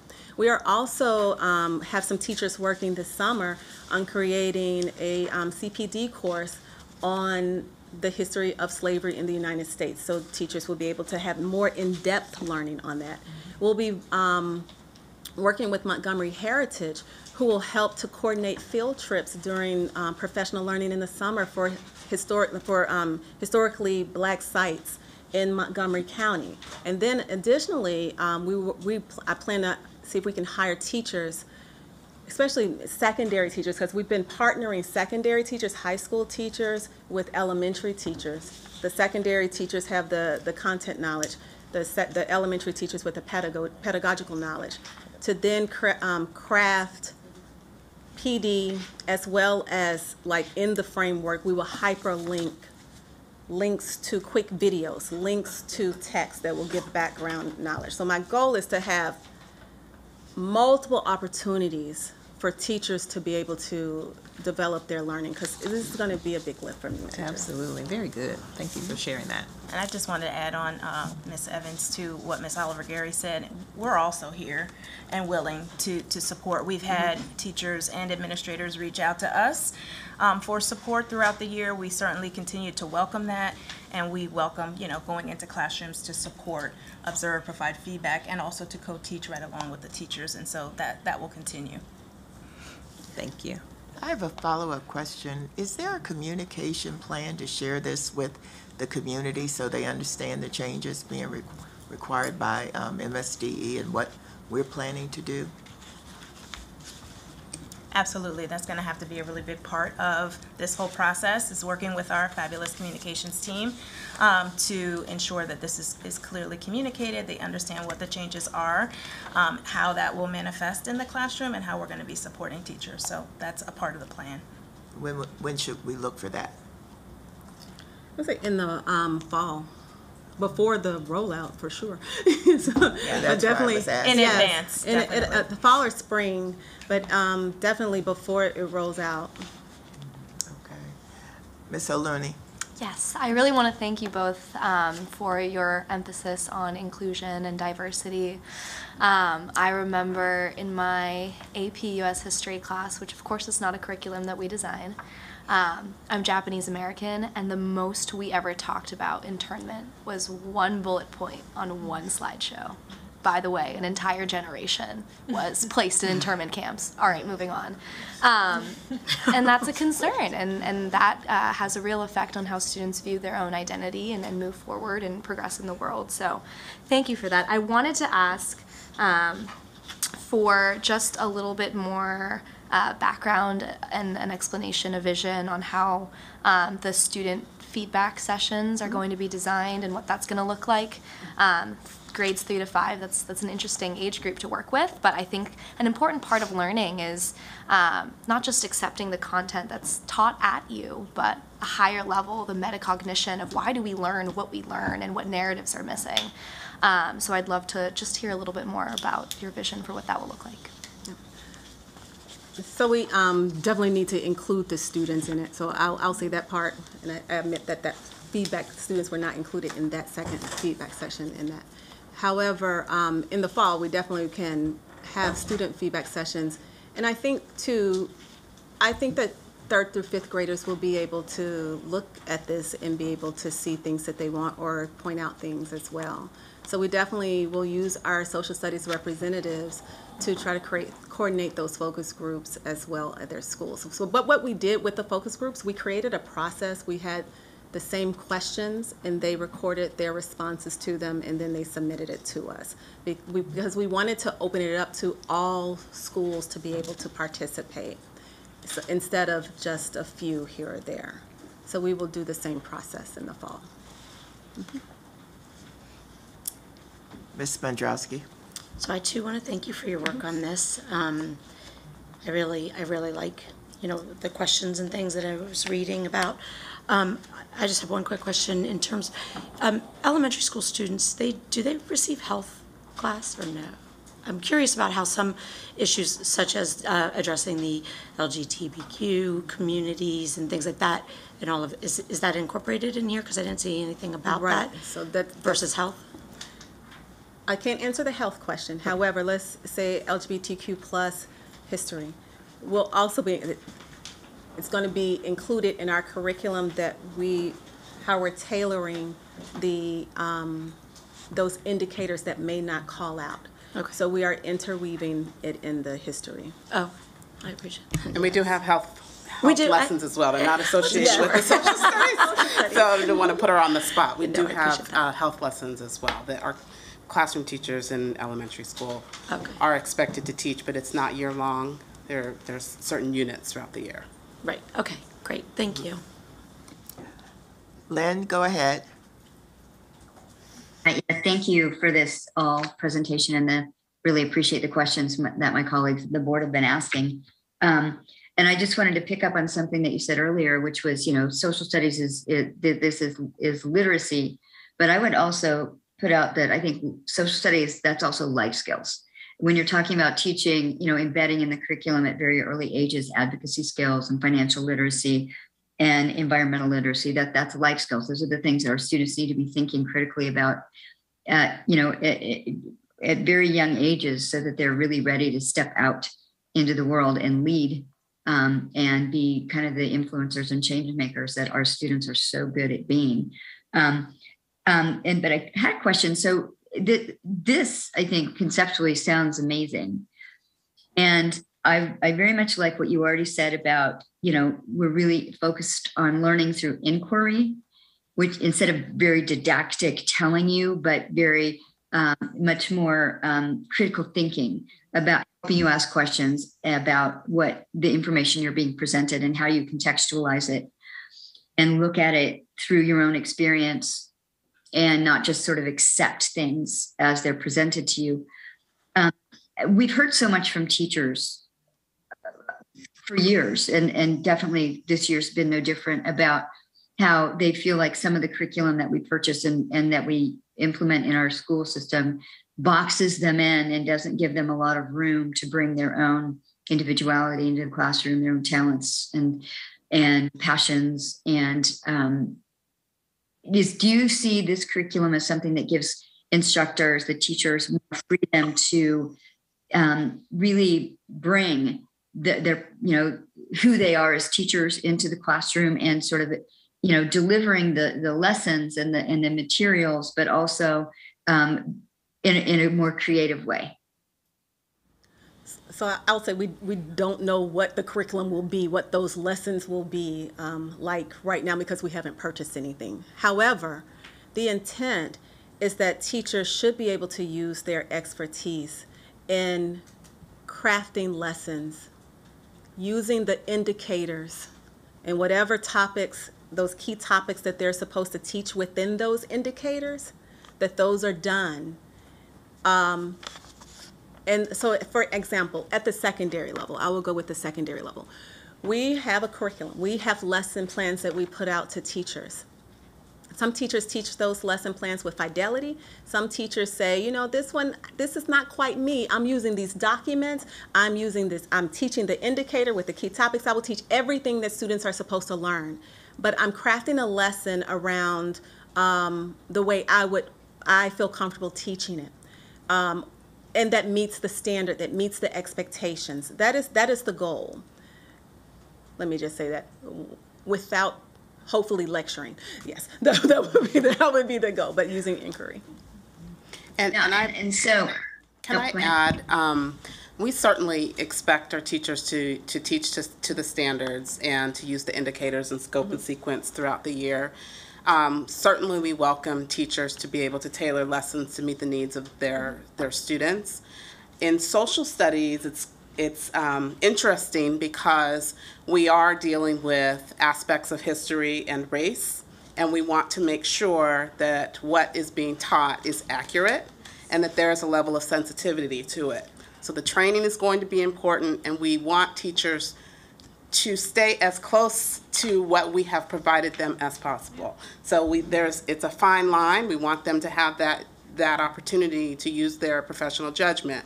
But we also sometimes when we get the question, when you all get the questions from the board office uh, about lessons, sometimes we've never seen them before. And we want to make sure that that training is there and peop- and our teachers really understand um, what they're teaching, that, that it's accurate and that it's really um, being sensitive to our students. I guess that goes to, are we, you know, the, as we go through the, the curriculum selection process, making sure, and I think, you know, in some conversations I've had, our new uh, chief academic officer seems to have some real strength in this way of valuing what the teachers bring into the classroom and, and the, their individual talents and energies. And, you know, doing less telling and maybe more asking of teachers about what works and what creates really exciting, fun classroom experiences for students because you know, I mean, I think one of the things that is essential for learning to be, you know, as, you know, potent as it can be is that learning has to be fun and engaging. And so I think teachers, you know, we want to make sure that we we have a curriculum that's strong and inclusive and and and accurate but doesn't make teachers feel like they have to robotically just march through it without being able to bring their own individuality and humor and everything into the classroom. Are we, you know, when we create, you know, when we start looking at the curriculum, and we're, going to have a robust team of educators, you know, this this age, you know, early child educators, you know, elementary school educators, helping to look at the curriculum to see how um, how to look at how it can be delivered in a classroom to really make it engaging and fun for the students.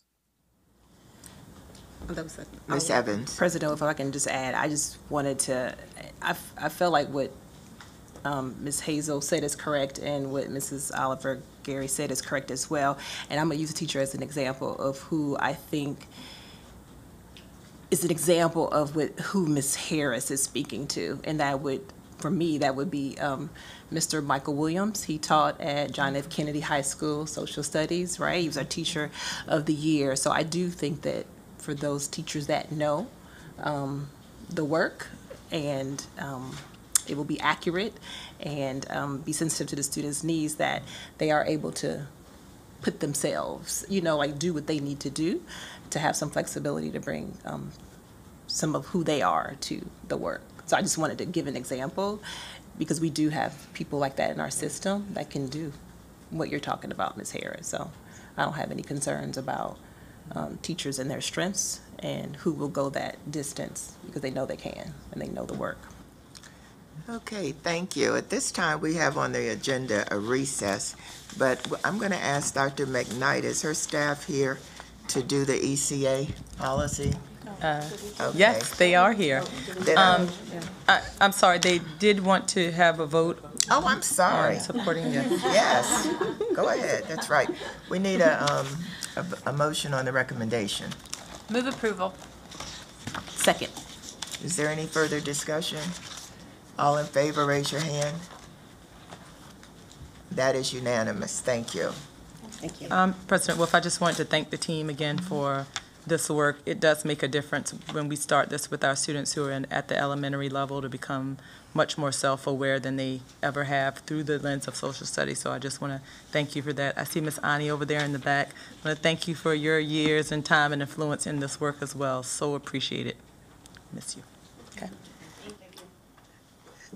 So, the board has indicated that, um, no, no, no, the board has indicated at this time that they would like to keep going, so I need a motion to revise the agenda to eliminate recess. Uh, Move to revise the agenda. Second. All in favor, raise your hand. And that is unanimous. We're now up to item number eight. Dr. McKnight, I'll ask you to proceed.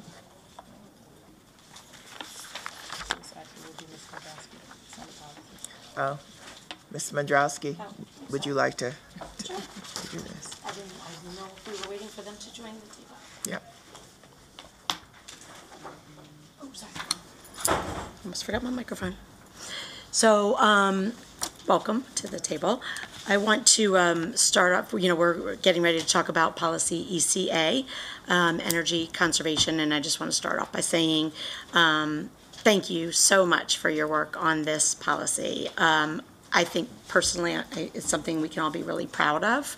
Um, I think it really highlights our commitment um, to and our vision for what the school system should be doing. Um, and I know it took a lot of hard work on all of your parts. Um, I particularly want to uh, thank Mr. Adams, um, Director of Facilities Management, and his team, and the Office of the General Counsel staff um, for facilitating the changes and collecting the public feedback, of which there's significant amount of. Um, and, you know, we always appreciate all of your efforts. So um, this proposed policy essentially includes three major areas of revision. Uh, we're proposing a title change from energy conservation to sustainability to better reflect our commitment. Uh, the proposed policy reflects our responsibilities in the area of environmental literacy and sustainability as set forth in the Code of the Maryland Regulations and the Montgomery County Climate Action Plan. It also addresses Maryland in initiatives to increase the number of green schools in the state of Maryland and the requirement to update its energy policy by July 1st, 2022, just under the wire. um, we reviewed the policy as a full board in January and we took tentative action on it, sent it out for public comment, and today you all are here to review those public comments and take us to um, through cha- any changes so we may take final action on the policy. So with that, I will turn it over to you all. Okay, thank you. So this afternoon, we are here to discuss public comments. And joining me today is Mrs. Zarate from the Division of Sustainability and Mr. Adams from Department of Facilities Management. So in a moment, uh, Mrs. Zarate will give you some more information about the public engagement, which began well in advance of the public comment period. In fact, um, there was work going back to winter of 2021. Um, And I you have the public engagement mm. summary in front of you. She has set the bar quite high. yes, agreed. so let me summarize some of the public comments since the board took tentative action on February 8th. So it was out for public comment from February 8th to April 7th. We provided comments in the summary of those comments, but just to give you an overview, there were 99 comments that came through the public comment page, plus additional comments that went to board members. There was general approval of the policy supporting efforts to reduce greenhouse gases, increase the use of renewable energy, and increase climate change education, um, along with recommendations to consider total cost, to reference student participation at the local school level, um, and, and comments uh, to reduce food waste.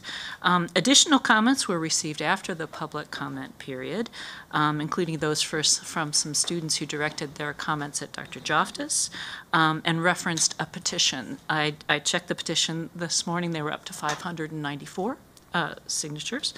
Um, and the petition called for um, such things as buying only renewable electricity, uh, electrifying all buildings, um, and demanding state money to retrofit old ones, installing solar panels, increasing energy efficiency, and providing good jobs to low income Montgomery County community members in all construction work. Um, I, let's see. I can show you a little later how those comments are reflected in the document, but for now, let me turn to Mrs. Zarate. Thank you. During our community engagement period, we met with over a thousand community members. We were working to build a network of collaborators because the work is just beginning with this policy. We need to do a lot of work after the policy should be approved. We found a high level of approval in those public comments for the work that we were doing. The big takeaway in meeting with many of the stakeholders, though, was that many of them did not even know some of the work that MCPS has already undertaken in this area. So we know that we need to do much more community outreach and conversation with everyone about the work that we're doing. In addition, we wanted to make sure that we included education on the topic, both for staff and for students, as well as highlighting individual school efforts and individual efforts of various students. As um, Ms. Davis mentioned, sustainability is the proposed new title. We felt that it shouldn't be called just environmental sustainability because it wasn't just about environmental work, it wasn't just about energy conservation, it was really about a culture change to address climate change and to address the student member of the board's concerns about that this is a problem that's happening now and we need to make sure it's sustainable for the future.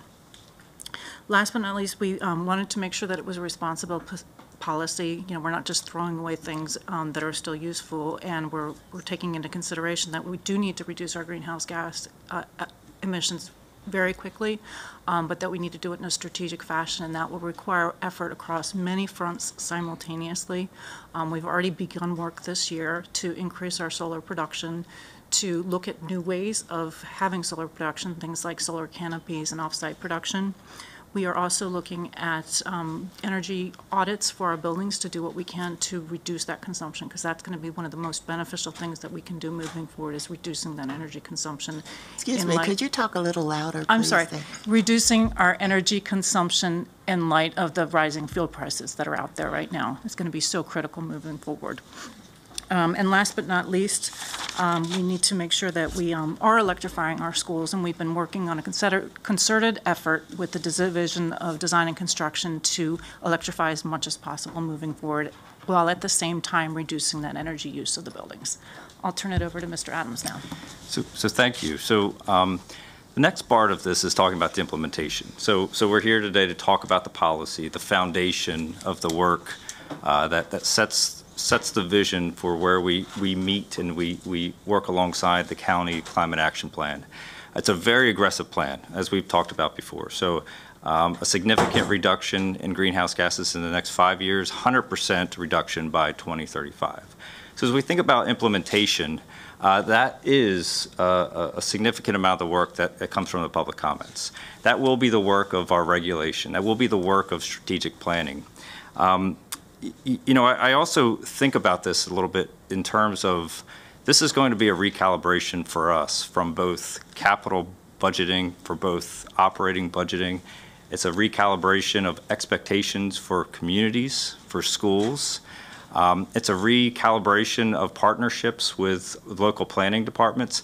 And I say that because this, this reduction in greenhouse gases involves everything that we do, everything we do from a, from a daily operations.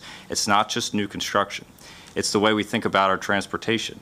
It's the way we, we ultimately would think about boundaries in the future, how, how that fits within the public uh, transportation, bicycle, pedestrian uh, access network. It's the way we think about our, our fields, our athletic fields. You know, we, we see emails about the grass is too long. That, that will become the norm. You know, turning, restoring the, the public space into natural space as part of the overall climate initiatives. You, you think about, you know, the watershed. You know, we do a tremendous amount of work with, with different aspects of, of um, bioretention and other functions, but we don't do nearly enough to meet the goals and ambitions of this plan. So I, I say this because the implementation is going to be extremely important. Implementation is going to involve uh, not only annual updates, it's going to involve constant updates. So, so as we talk about what that looks like, you know, having a robust website so that when students are involved in an initiative at an individual school, they can see how it impacts the plan and gain momentum and continue that momentum forward. So, so we're very excited about this. Um, we're excited that the, the board is is is committed to this work. We're excited the county executive put this forward as an aggressive plan. We do think it's aggressive, but we think truly if, if this becomes part of our norm, uh, that we can achieve this and we can start to, to set the environmental standards that are necessary to, to leave this place a better place for, for our current students and those students that follow behind. So, so with that, um, I do turn it back over to Sally to talk through a few more items and certainly open up to questions after that. Okay, so let me take you through some of the changes to the policy in response to public comments. If we can begin on page three. Um, I want to draw your attention to a comment that we heard uh, repeatedly through the comments, which, especially in the comments we received uh, kind of towards the end, was um, seeking more local school and student involvement in this effort. So you'll notice uh, right around line 67, 68, Montgomery County Board of Education collaborates with federal, state, and local partners and seeks the active participation of local school communities in comprehensive efforts to solve regional problems. And then the sentence goes on from there. If I can take you to the next page, page five. We did hear um, a couple comments about waste, and particularly food waste. And so the STEM begins, I'm, I'm citing the, the text at 111, but it, the STEM begins the page previously. The board is committed to innovative and system-wide sustainability to include using waste reduction and greenhouse gases emissions as criteria in decisions related to purchasing, including but not limited to energy, transportation, food services, and other operational areas. Okay, on the next line, um, we picked up that theme again at line 161. MCPS implements operational practices and programs that achieve measurable reductions in greenhouse gases and waste that align with Montgomery County Climate Action Plan's greenhouse gas reduction targets. All right, let me take you to the next page, to page eight, lines 187 and 188. Here was another opportunity for us to emphasize local school. Um, I'll just begin this sentence before. Develop processes to establish and foster organizational culture and operational procedures that foster creativity and collaboration and innovation across departments and at the local school level to implement systemic climate solutions. Um, sections B and C we didn't remove text as much as rearrange them. We wanted to split apart these two ideas, one to focus on understanding and the second to focus on active engagement. So um, the first one, infuse sustainability concepts across school curricula and professional development to allow students and staff to gain an understanding of individual, collective, and societal responses to human-induced environmental change. And then the second part, provide opportunities for students and staff to engage in actions that contribute to climate solutions. And then the sentence moves on from there. Uh, let's see, let's move over to nine, uh, page nine, line 229. The STEM begins, the superintendent of schools designee will identify actions that can be taken immediately and long-term, and then I'm going to jump over to develop and implement behavior-based sustainability programs at local schools, uh, including strategies to support and increase the number of Maryland-certified green schools and other programs. Um, and then I believe we discussed this edit before, but um, replace MCPS diesel and gasoline vehicles as appropriate with electric, hybrid, or other more efficient or clean, cleaner fuel vehicles. I did notice one of our uh, commenters asked us to remove that part. And the reason we left it in was because we want to leave ourselves open for innovations coming down the line of technologies we do not yet anticipate. So we wanted to leave that open. And I will stop there. We are ready for your discussion. So, thank you. Um, I will open it up to my colleagues. Um, Did you have something you wanted to? No, no, no, I was just filling Oh. in for Ms. Wolff. Oh, okay, You're here, sorry. so- I was going to say, um, Ms. O'Looney? Yeah, I just wanted to thank this team. We've spent a lot of time together this past year, those of us on the policy committee. Um, and it's been really awesome to watch the enthusiasm that you have for this work um, and the vision that I can see that you have for the future of the school system. Um, but I think the importance of putting together a document like this and the reason that I personally push so hard for that numerical target, aligning ourselves with the county's carbon emission reduction plan, um, is because while there may be this passion and fire underneath us right now, um, who knows about future generations. So the importance of codifying it in a document like this, but particularly Mr. Adams, thank you so much for highlighting the gravity of what we're doing here. Like, this is a really big deal. Um, and it's going to, I- I think, be a real trust exercise between MCPS and our community. Uh, when we create a lofty goal like this, and we say and come out very publicly holding ourselves to it, do we stick to it? And I think that's going to require commitment, not just from this department, not just from legal, not just from the board, but every member of our community um, and every department and, and every aspect of the work that we do in educating students. But I'm very excited and, and thank you so much for all of the hard work that has gone into this. Yeah. I too want to say thank you for putting in a little bit or bigger perspective um, and picture the impacts of this and, and the um, purpose of why we're trying to be so um, aggressive, if you will, um, about it. And I do want to just say thank you again for all of your work because it was very, very intensive and um, we are grateful. I think, like I said, I'm very proud of this policy. Hopefully, the board as a whole is excited about it and, and proud of it. Dr. Docca? Oh, I just, I'm excited about it when you talk about sustainability, and especially when you said, people don't know all the things that we've done. So I'm really glad that when you bring forward buildings now, you do the whole sustainability part, because people need to know what we're doing to economize and to take care of the um, environment. Yes, I agree with that.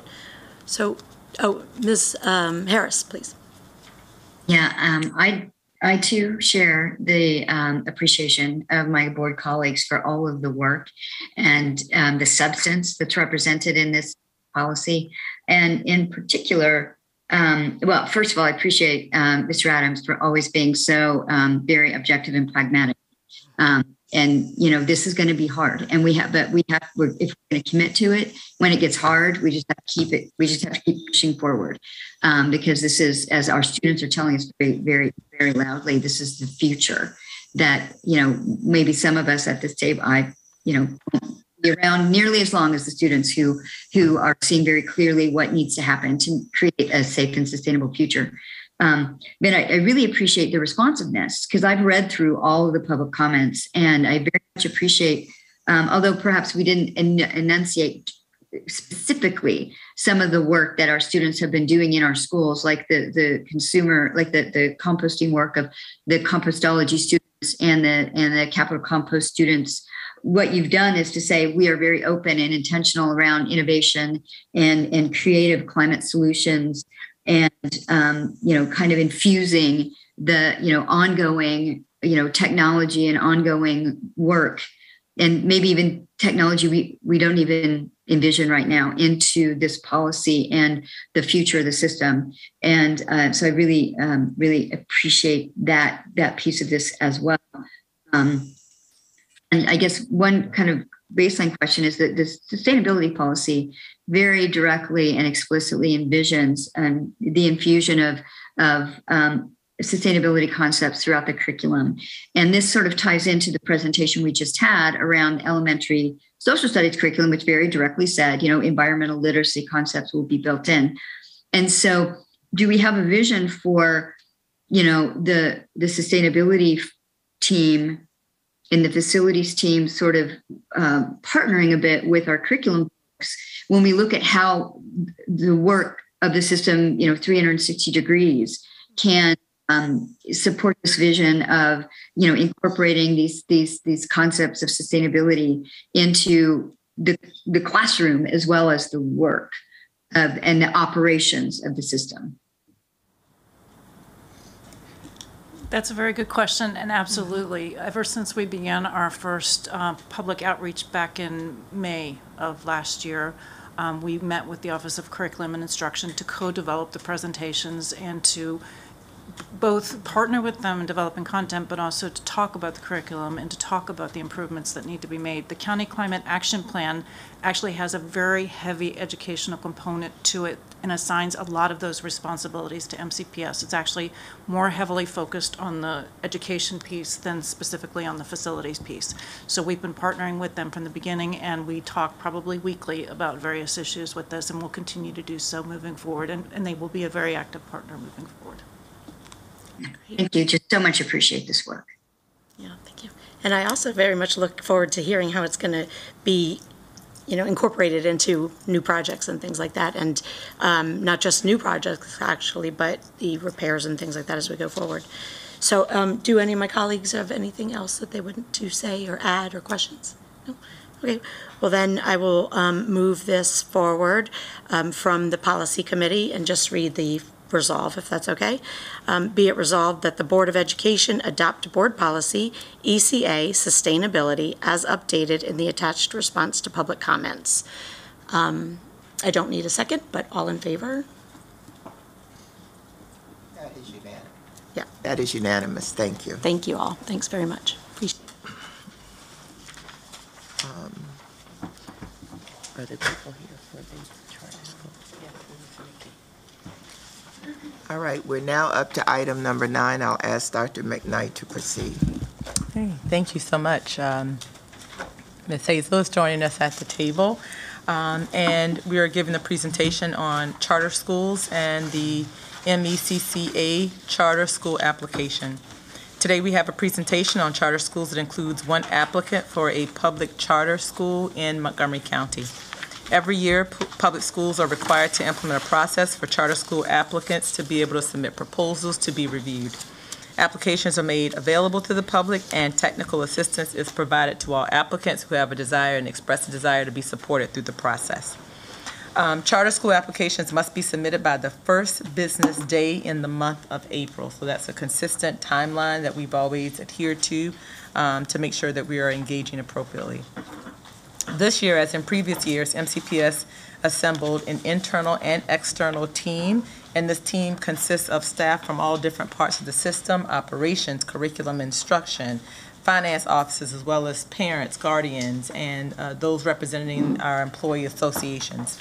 Panel members review the charter school application together, and if you remember from our past procedures, this is exactly what we've done. They review the application together, and then they participate in a, uh interview process with the applicant. Um, the purpose of today's meeting is to learn more about the charter school proposal and to ask questions.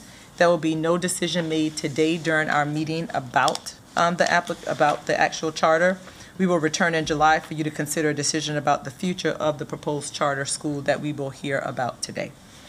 Annually, as per the Board of Education Policy, CFB, public charter schools, the superintendent has a responsibility to administer a charter school review process. I have reviewed the process and believe it is appropriate and aligned with the policy. So with that, I'll turn it over to. Hazel.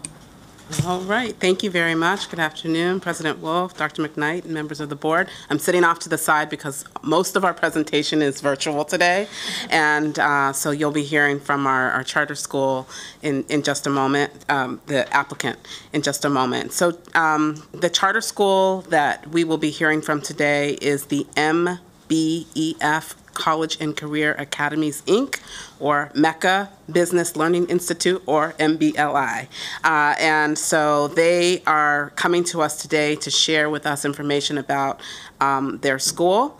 The uh, charter school did apply, as Dr. McKnight said, and there are just a few components that we just want to highlight in the application that they needed to speak to in their written application and also through their interview.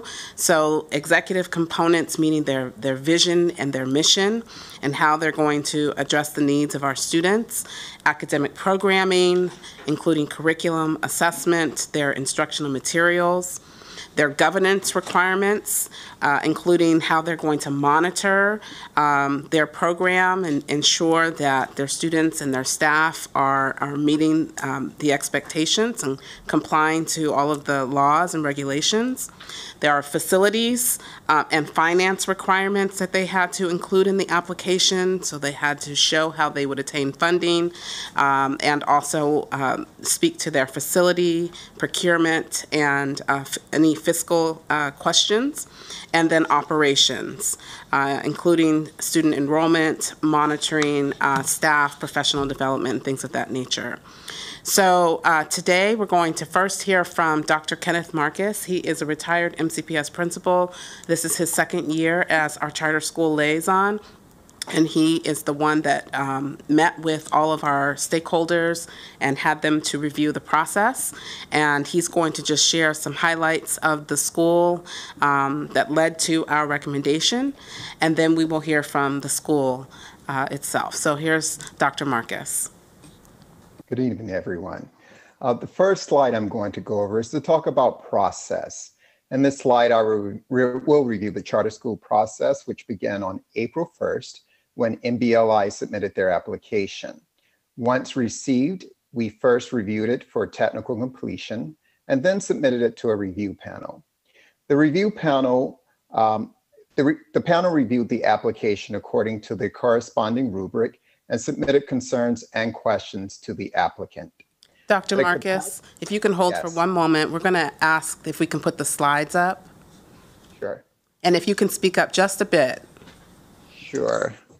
I have a headset on, so Okay, is that one. better? Keep going. Yes. Uh, if you can go to the next. There we go. Thank you. Okay. Uh, s- So I'll just start quickly over, uh, and Dr. McKnight did a great job of giving an, a timeline also. So on this slide, I'm just going to review the charter school process, which began on April 1st when MBLI submitted their application. Once received, we first reviewed it for technical completion and then completed it, then submitted it to a review panel. The review panel reviewed the application according to a corresponding rubric and submitted concerns and questions to the applicant. At a capacity interview on May 25th, the applicant responded to those concerns and questions. This evening, the applicant will present to the board and the, super, and the superintendent will share a recommendation.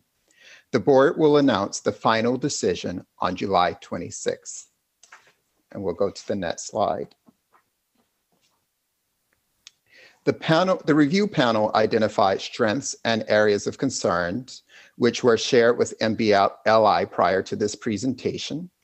Areas of strength include that the applicant has received a 900,000 startup grant from MSDE, and a portion will be used for a start up to start up the facility for the facility cost. The applicant also has a clear mission and plans to utilize research-based instructional standards and tests and their gradual six-year enrollment rollout plan. As you see on the slide in the memo, there are also areas of concern. MBLI has addressed several of these areas, including making budget adjustments, and you will hear in their presentation this evening how they have been addressed. We'll go to the next slide.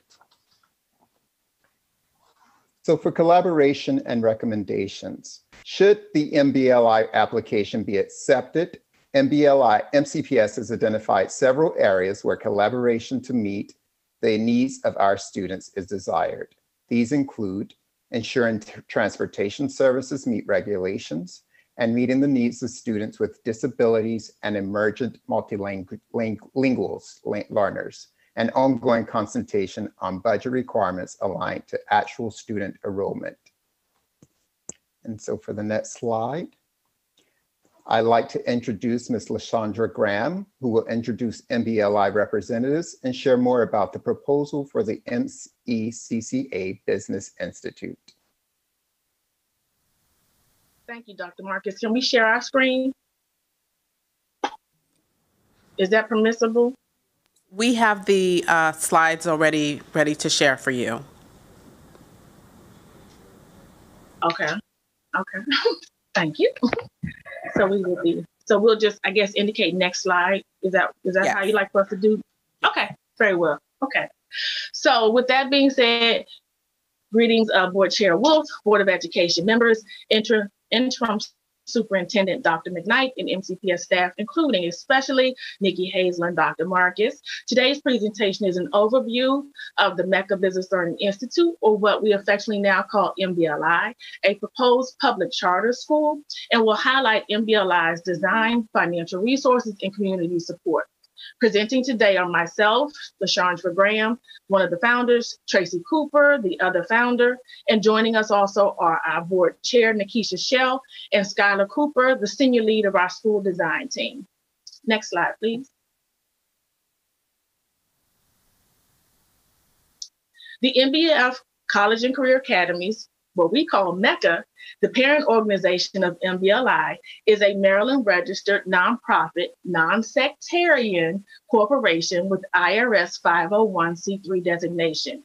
Composed of high capacity and experienced professionals, the collective 28 member group, which includes the founders, Tracy and myself, board of trustees, both founding and candidates, design team, and design advisors, possess the expertise appropriate to establish and operate a successful charter school. Next slide.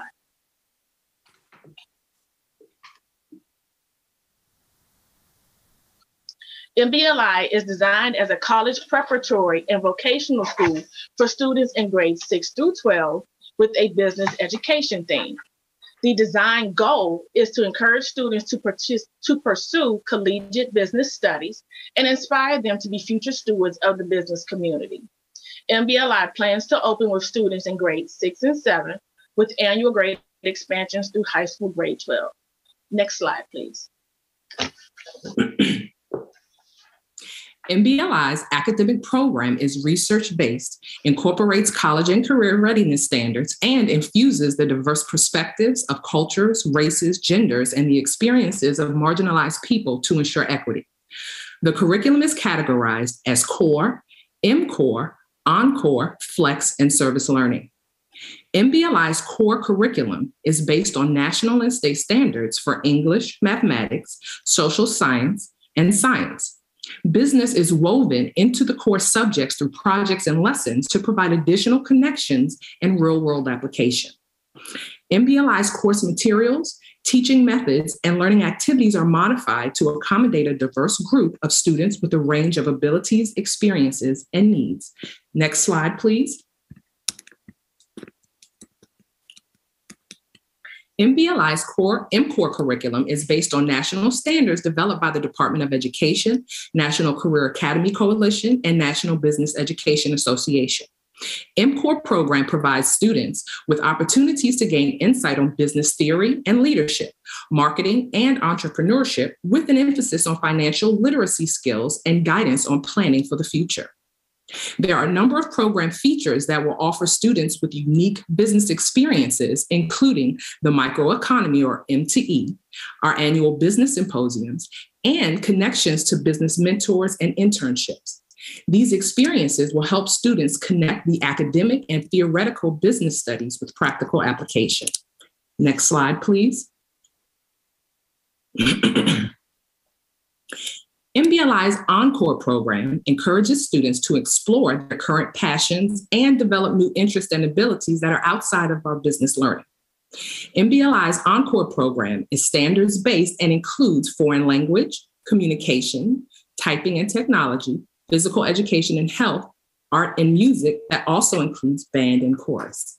Students will have opportunities to continue their exploration or develop new interests after the school day with extracurricular activities like robotics. Next slide, please. MBLI understands the dynamic nature of learning and that students may require additional experiences or assistance to help them excel. The FLEX program is designed to offer students additional support and or enrichment to aid in student success. FLEX programming blocks include advisory, intervention, enrichment, social emotional learning, and transition support as students move from elementary to middle, middle to high, and beyond. Flex blocks, excuse me, flex blocks are incorporated into the student schedule and are offered during the school day. Students who may require addition, additional assistance in foundational subjects like English and math will be able to obtain um, practice opportunities through supplemental instruction. Students who may be English language learners, have an IEP or 504 will also benefit from flex courses because they will be able to provide additional assistance with organization, study skills, or content practice. While students who may be considered talented or gifted or who may not need the additional support can obtain enrichment on various topics and subjects. Next slide, please. MBLI's service learning programming will progress through four stages and involves engaging students in a variety of experiences that, that will benefit others and the community. Additionally, it will help um, further the learning goals of the curriculum. Students will reflect on their impact and how to improve their community-based work. Next slide, please. MBLI intends to locate in Gaithersburg. Our initial planning efforts have identified vacant space at 700 Russell Avenue. However, after charter approval, MBLI will undergo formal steps to finalize the school's geographic location within Gaithersburg and obtain an appropriate facility. MBLI will immediately, after charter approval, engage its current partners and consultants that includes real estate agents, architects, engineers, general contractors, design consultants, etc., to finalize plans and calculate actual costs, as well as prepare the facility for timely staff and student occupancy. Next slide, please. How students will get there. Yellow bus service is anticipated to be the primary source of transportation for all enrolled students to travel to and from MBLI. MBLI's operating budget includes dedicated funding for both bus drivers and yellow bus leases, which will ensure MBLI is able to provide yellow bus service for all enrolled students. Next slide, please. MBLI researched best practices from financial experts at the Government Finance Officers Association, the Rennie Center, Harvard Business Review, the Maryland State Department of Education, the Maryland Alliance for Public Charter Schools, and a variety of additional reputable sources for financing education to craft a budget within projected resources. MBLI's budget model and financial plan ensure that MBLI's educational program will be able to operate exclusively with public, public funds. Conservative budgeting will allow MBLI to maintain financial stability in the operating budget using the MCPS per pupil allocation and does account for the MCPS administrative allowance of 2%. MBLI's budget breakdown on the screen includes the following salaries and benefits, direct school, occupancy, and general and administration. Each budget category also includes a contingency to compensate for the uncertainty in- inherent in cost and time estimates, as well as unpredictable risk exposure. These budget allocations also assume student attrition and conservative revenue, yet allow MBLI to balance the budget. All expenses will be managed in the context of MBLI's mission. Next slide, please. MBLI anticipates leveraging a startup grant from the Maryland State Department of Education and the attainment of private funding to support facilities renovations and or necessary facilities acquisitions. MBLI's board of directors will, with short and long, long-term operational plans in mind, determine which route MBLI will pursue in seeking private funding, including, for example, loans, lines of credit, government bonds, etc. After opening, MBLI anticipates receiving per pupil funds from MCPS to support ongoing facilities management operations and general maintenance. Next slide, please. The space that MBLI has initially located is, as Tracy mentioned, on 700 Russell Avenue. MBLI intends to lease this property and will work with the property owners, Promark Partners, to determine whether or not Promark or MBLI will be responsible for any renovations. Promark and other commercial property owners typically fund renovations of this nature by providing an improvement allowance and or providing free or abated rent. Should MBLI be responsible in whole or in part, MBLI has determined that leveraging the startup grant from MSDE, the school can afford up to 2.7 million for initial renovations. It is anticipated that the 2.7 million will be pursued through school bonds, which can be used for renovations, if not at Russell Avenue or at another facility. Next slide, please. Using facility budget best practices, MBLI aims to ensure that the facility budget is comprehensive and engages MBLI's multiple stakeholders. The budget not only places proactive maintenance at the forefront, but also includes contingencies similar to our other budget categories for unplanned expenses and emergencies. Next slide, please. Gathering support from the community has been a big part of the work to establish MBLI in Montgomery County. Between 2017 and 2022, 611 people have signed their name to our electronic letter of support. MBLI has formalized partnerships with and obtained support from 18 organizations, including the Maryland State Department of Education, the Maryland Alliance of Public Charter Schools, Arts for Learning Maryland, Junior Achievement, and most recently, Morgan State University. Community outreach, including partnerships, both virtual and in person, will, will continue until the school launch. Next slide, please. This concludes the MBLI portion of the presentation. Thank you for the time and the attention lent to the presentation of the Mecca Business Learning Institute, a proposed public charter school for Montgomery County, Maryland. Do you want to? Yes, thank you. So yes, at this time, we want to see if you have any questions. I don't have any questions. Does anyone have any questions? Ms. Silvestre?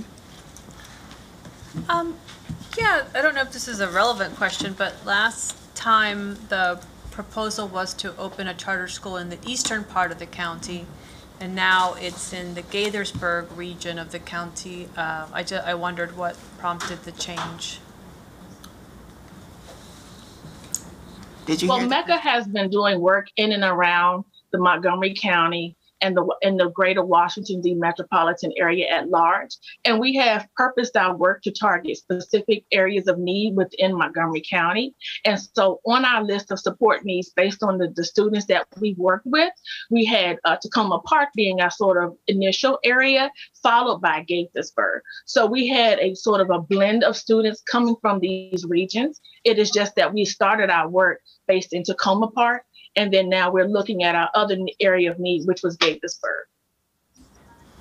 And then you're in your um, enrollment projections, you estimate English language learners estimated at 15.8%. Given that the Gaithersburg community has a high percentage of English language learners, I wondered what you were basing that number on. Well, we used we used the middle schools that were in the Gaithersburg community as well as the high school and looked also at the elementary schools.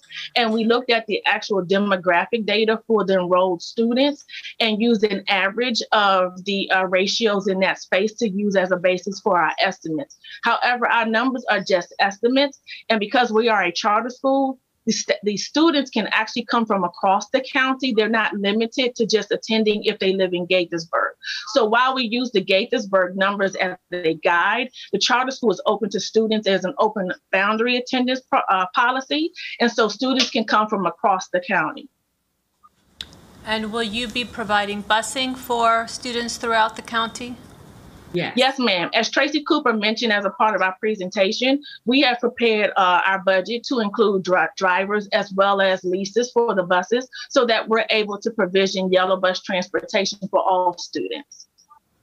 Um, Could I ask about the mention in the presentation about a clause about transportation, that should it become uh, economically burdensome, that transportation would not be provided? Is that? what that was, what that was, and we spoke to the staff about this as well. So as charter schools, there are certain elements in the application to which charter schools are not allowed to be held to. And one of those pieces is the transportation. And charter schools have the flexibility, should their budget need to be adjusted, they have the opportunity to opt out of providing transportation until such time as they may determine at a later point within the enrollment process that they can feasibly accommodate the transportation. However, we've done the initial work to set up a, uh, a yellow bus transportation plan that we think will be able to support the enrolled students. Okay. Is that all? Yep. Dr. Lynne Docca? Harris is on the, Lynne Harris is waving her hand on the computer. I'm sorry. Oh, we don't see, we, we can't see her. Yeah. Lynne? Okay, now we can see her. Lynne, go ahead. Yeah, thank you.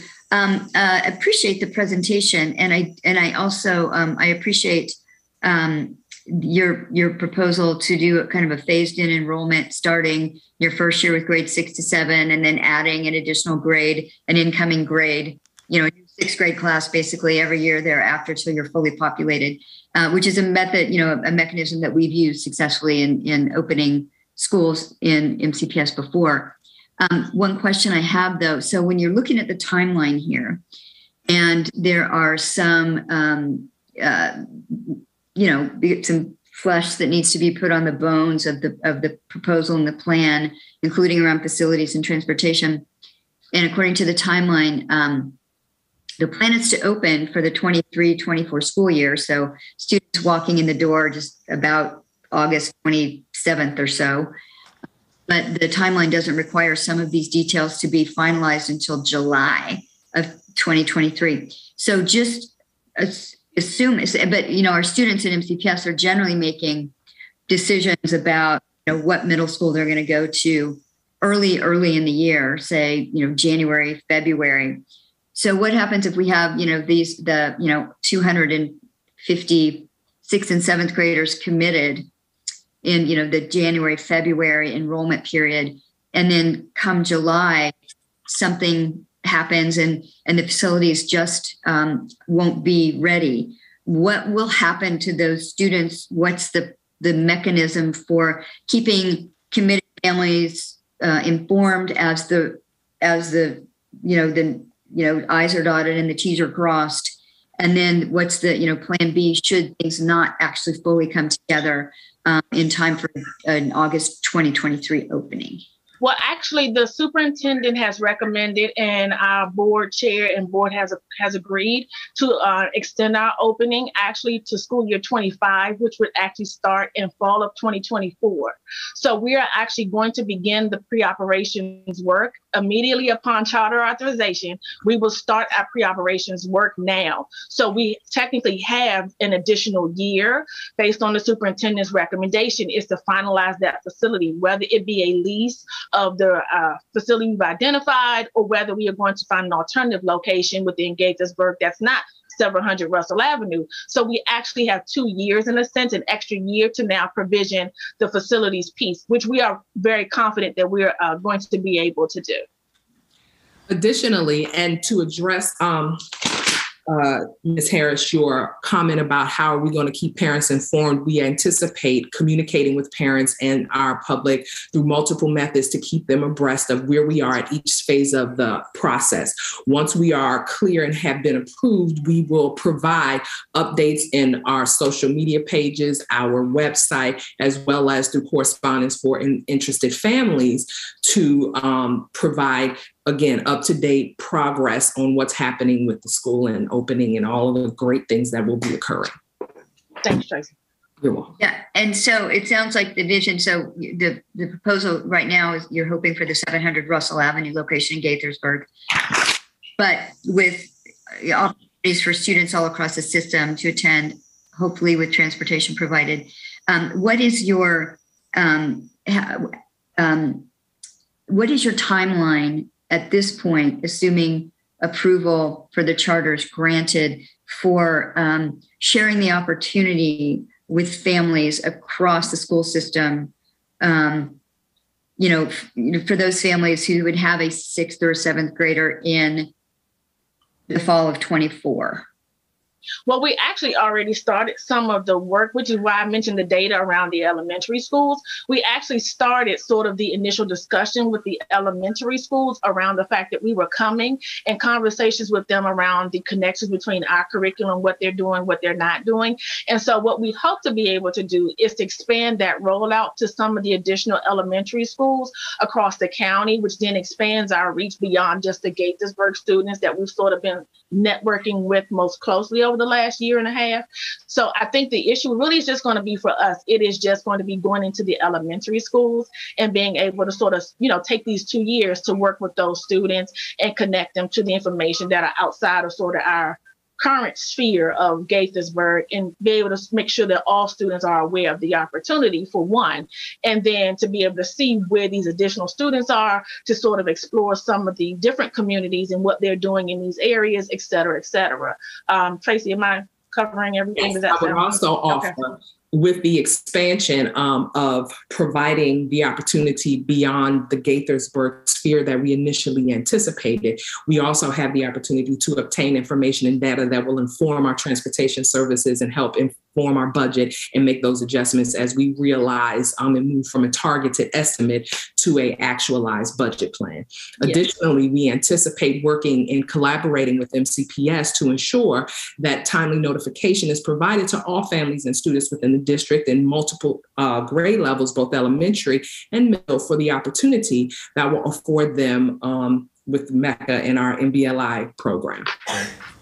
Just one final question. Mm-hmm. Um, the, the vision that you have for the, the, the charter, um, and, and so you're looking at the phased in enrollment, grade seven, year one, and then adding in a sixth grade class each year thereafter. Um, is your vision that a student, say, didn't know about the opportunity or didn't think they were interested when you know entering into sixth grade, but maybe grade ten they think that they would have interest? Is your program one that you would you would welcome students to kind of Absolutely. Absolutely. All students, we welcome and encourage any student and family that's interested in business opportunity, financial literacy, um, entrepreneurship to we welcome them to our school at whatever grade level we are able to accommodate them at. We are prepared and have built in um, into our design a rolling acceptance process that will allow them to be um, relatively easily incorporated into our program, even if there may have been some things that we did in the year before. So we definitely anticipate that and welcome that and encourage it. Uh, Dr. Docca. Wow, thank you. Um, I did read through the, the big binder that had a fully developed curriculum. Very, very, very nice. I mean, you covered everything in there. And I noticed that you're going to concentrate on Chinese, uh, which is a good idea. And also, I noticed that you're uh, looking at startup, which is uh, a federal grant kind of thing. We've used that here in the summer, and we know it's very effective. Dr. Alan Chung has been in charge of that for about the last eight years, and we've had uh, students all kinds of students who have been involved in the program and they learn to speak and they do poetry and they do their science project in, in Chinese. Uh, also, um, the building is sport and health, used to be sport and health that you're looking at. It has some challenges. I know that you know that, but it is a nice big building and uh, certainly could accommodate the numbers. And also that you're going to have uh, teachers are going to stay longer like an hour and three quarters longer. I guess the kids are staying longer too, which might be, um, well, should be an asset. And there'll be a number of students from that area that speak other languages. So I think you gave a, um, a figure uh, there that sounded low to me, but yeah. And the last thing I want to say is that Gaithersburg is one of the neediest areas in the county but it is the geographic center of the county, so you can draw from anywhere in the county, and it's not going to be like Frederick County. Okay, Mhm, thank mhm. you. Thank you. Thank you so much. Miss O'Looney. Yes, I just had a question about this uh, 611 figure, the number of people who have pledged support. Um, were you able to verify that these people are MCPS families or live in Montgomery County? Who who who are those people? So the 611 is a is a variety of uh, respondents within and across uh, the Washington D.C. metropolitan area. And what we did when we uh, submitted our application last year, we validated I want to say 300 plus of those uh, signed up petition, not petitions, petitioners or supporters. Uh, we were able to validate a little over I think 300 of those persons that were uh, had a Montgomery that provided. Let me say that that provided their uh, either an email address or an address of some sort. We were able to actually validate and connect about 300 of those people. And then there was, I want to say, a roughly a little under 200 people that had children in uh, either in or uh, were adjacent, either a grandparent or another family member that had students that were uh, connected to MCPS in one way or another. And so we have about 50% of our people we have been able to validate as actual MCPS um, residents. So, Thank you. yep. Miss Silvestre. Um, yes, Ms. Hazel, so I wanted to understand, what is the recommendation of the school system so that I'm clear? Thank you. I should have said that before we started the questions. I apologize. So we are uh, recommending that the board approve the MBLI charter school application with the contingency that they meet the budgetary requirements uh, for attaining the furnishing and renovation of the building by July of 2023 for a 2024-25 school year opening. And so that did also get to uh, Ms. Harris's question. And uh, if I could ask the, the charter school mem, uh, founders, uh, could you restate, I know you mentioned it, but I didn't quite understand. What is your plan for getting the funding for the renovation and the furnishings? So part of what we're doing in this space is being able to leverage our Maryland State Department of Education grant for the use of either government funding in the terms of the school bonds, which we are eligible for as a public charter school, uh, for a construction loan if we need that, or for a traditional bank loan. So there are three portals that we had determined we were eligible for. The bonds being the most favorable because of the interest rate opportunities and because being a public charter school, it connects us to the municipality and provides the credit backing of the municipality in attainment of the bonds and a favorable rating as it relates to getting the bonds. So it, that offered us the best opportunity was the school bonds. However, we can go the traditional route of this bank loan for any amount that we need, or we can go the route of just a construction loan, which we would still be leveraging our state grant for to, uh, the attainment of those funds. So basically, there's going to be a combination of resources depending on the need. Uh, once we actually get the facilities pieces mapped out, some of the things can be uh, funneled through the grants, and then some of the pieces will have to be funneled through either the construction loan or the bonds, et cetera. Does that make sense? It's not my area of expertise, but I think I'm following along. Um, Okay. What is your estimate of the cost of the renovation? Well, for Russell Avenue, we didn't necessarily estimate the cost of renovation. We determined the amount of money that we could reasonably afford using the state grant as the leverage. And so, using that money as the leverage, we determined we could afford $2.7 million. Of course, if the bankers tell it or the the financiers tell it, we can afford more. Uh, we could leverage that and get and actually access more money. However, where we feel comfortable is the 2.7 million dollars. And so for our end, we would work with ProMark partners to sort of ask them to accept that component towards whatever renovations because it is still releasing the facility from them. And so we would have a shared responsibility with them in terms of how we maybe want to adjust the building building. And they are already aware of our intent to use it as a school. They have actually mapped out for us how it could be used as a school, which was good. Um, and so they're prepared to support us in this endeavor. We just determined how much we could come to the table with. And you And to add operate, to what- I'm sorry, I was going to add into what LaShondra was saying and, and just connect it back to something we discussed in the presentation. Again, they have discussed with us which portion they would be open to renovating, and a lot of the uh, property owners have and commercial property owners have been open and willing to make some renovation adjustments in preparation for our uh, operating in the facility. So that will defray some of those costs and could be very um, helpful in the space that we're doing.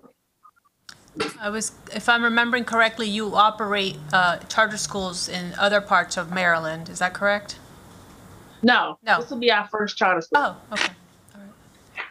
However, we are experienced with authorizing charter schools and doing Exactly. work with other charter schools in the state of Maryland on behalf of um, school districts and as consultants. Yes.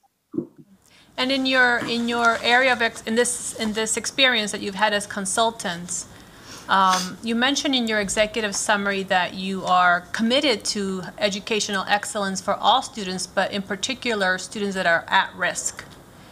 Um, In your, in your uh, advisory role or consultancy role, I'm not getting the terming, terminology correct, but what have, what are some best practices so that not just parents who are in the know apply to uh, your charter school, but really uh, all underserved students have uh, the opportunity uh, to apply and participate in the school? First and foremost, remember that um, this is a school of choice. And so we want to make sure that any student who's interested, any family that's interested, will have the opportunity to participate in our program. And we want to communicate that to multiple students. Our goal is to support students who may be disenfranchised with the current educational process, may not be as connected. And those were um, those are often at-risk students who have one foot in the door and one foot out. And since the pandemic, we know that that is um, even more of a struggle with many students and families. So our goal is to one, make sure we're communicating through varying uh, resources and outlets to let families know, to offer them opportunities to connect with us, interact with us, and understand the school, the policy, the expectations, and be transparent about those things and the development of our work um, up until the opening of the school. And students who are interested, again, because we are a school of choice, we are welcoming and open to all students. Um, and encourage their participation in the program because we think it will be a wonderful extension uh, for the Montgomery County area of service offerings to continue this um, dynamic, rigorous nature of excellence that we provide for students in academic settings. And from a research uh, best, or best practices perspective, one of the main things for these for students that are disenfranchised, as she mentioned, one of the main things is you know, being able to add additional time during the school day. We know that there's a lot to cover in terms of content, and it's not a lot of time. And so, being able to sort of have flexibility around how we provision what time looks like in our school allows what Tracy mentioned for uh, earlier, our flex scheduling blocks, where we can work with students on a different level, a, a supplemental level, an enrichment level. We can provide them outlets if they want to explore other subjects, because sometimes students are just bored and they may want to just sort of change uh, think about things in a different way, explore uh, other subjects. And so we want to create sort of, provi- we have the opportunity with our scheduling is to provision those opportunities for students. And so with an additional school day, being able to dedicate additional time to math and English, which are the core of all of this work, uh, is, is important. And then the other piece from best practices is being able to support the whole student through health and wellness. So we know a lot of times that, you know, social emotional wellness is, uh, is, is left unaddressed in some communities. And so we're factoring in a lot of new practices in terms of uh, the restorative pieces. I believe that the titles are Tracy, uh, our peaceful schools, our restorative practices, um, our mindfulness, um, so we're trying to sort of work with them where they are academically, but then look at the whole student and then move from beyond the whole student to the whole family. Because a lot of times the student is who we see, but there are issues that may reside in the family. And then that's where our team of support services folks comes in, our psychologists, our, our counselors, our social workers, and all of those pieces will help to sort of support the full family, which then strengthens the student who then comes back to us ready to work and ready to learn. And can I just add also, um, should they be approved, um, certainly these are our MCPS students and, and staff, so we want them to be successful. We will work very closely with the charter school um, to ensure that similar to our other choice programs, they are included in any of our communication to parents, any of our open house, and all of those types of things, so that our families know that this is another option, just as we have uh, choice uh, schools programs in our, our county. So we'll work with them. And my final question is, um, and you're fully prepared to serve special education students and English language learners? Absolutely. Well, of course, of course. Um, and, and to what Ms. Uh, Harris was asking us about earlier is, uh, and, and what someone else mentioned is about our demographic data. We understand that we are going to get a variety of students on a variety of levels. And so it's not just special education, it's meeting all of the students where they are. And it's being able to target interventions and supports to all of our students. And in doing that and setting up those programs and those plans, we are provisioning, of course, extra support for our language learners because they have to be able to speak the language to communicate the language. For our special education 504 IEP students, we want them to be just as successful. So we're prepared to modify our curriculum. We're prepared to provide the you know the teachers with the extra supports in the classroom as needed to ensure that provisioning our program and our services is able to be done with ease and with support. And then where and we are not perfect, right? So we did a lot of the work but there's still some things that we're going to have to iron out. And we're going through professional development, similar to the school system. We want to engage our staff with, hey, how do we fix these things? How do we connect better? Where are some things that we could do better, et cetera, et cetera. And so I think part of what this is, it is just we have a vision. We've done a lot of this work, but we are open to hearing from our families, hearing from our, the staff members, hearing from MCPS as we need to, to make this be the well-rounded vision that we see and to ensure that what we're doing stays at and above the level that MCPS envisions for us. Because the same way MCPS envisions excellence for its community and, and, its students, we want the same thing. We are coming out of the community, attempting to fill and address a need within the community. And to add to what LaShondra, uh, Ms. Graham has said, I will add to we anticipate working much like Ms. Hazel has indicated, very collaboratively with Montgomery County to ensure the excellence of its programming is continuous in our program as well. Um, we anticipate being able to provide assistive technology as needed. We anticipate being able to follow 504 plans, IEPs, and all of the accommodations and modifications required, in addition to providing additional assistance and supplementary support based on pro- our program and our unique design model that may offer additional assistance in areas um, that may not have been captured by the original IEP or 504. Thanks, Tracy. Ms. Smondrowski? Yep, just a couple things. First of all, um, you keep mentioning anticipated, and I know you can't say anything necessarily concretely because you're not actually up and running yet, but um, anticipated does mean going to, correct? Like, in other words, you anticipating being able to support our special education students, we, they would Of course, once we're approved. know that we can, that's right? what we're- That's the anticipation. Once we are approved, we'll move into execution, which will allow our plans to be realized. And they are um, prepared to, again, mirror and reflect a lot of the best practices that Montgomery County currently employs to support students with a 504 plan or an IEP or English language learners. Thank you. I am concerned about the um, transportation aspect in terms of if you have students enrolled and then it's deemed that transportation can no longer be provided when it was previously, what happens to the students who can no longer get there? And do they just go back to their home school? Is that how that works? if they choose to not enroll with us, like if for if for some terrible reason, which let's just say we're not planning for, but in the event that something happens, catastrophically impairing our ability to provision yellow bus transportation, the students are still welcome to come. Um, their parents can bring them by car. Uh, if they live in the neighborhood, we can help provision carpooling. Um, there are a variety of ways that students can still access our program um, that we will explore. We have a grant that we applied to two year, uh, two and a half years ago uh, to provision bikes. Um, so there are a variety of ways that students can get there. But our plan is to try to provision the yellow bus service because we do understand the importance of getting all of the students to the school. And so our goal is just to make sure that we can make that happen and design and working with the transportation department, uh, if we work with them and have them guide us in, in the development of that programming to ensure we're successful in that space. But the students are still welcome just because we not opt, may opt to not offer transportation for some reason. They're still welcome to come to our school. No, I, I would have, I would have, but it's more about can they get there? Not whether it's welcome.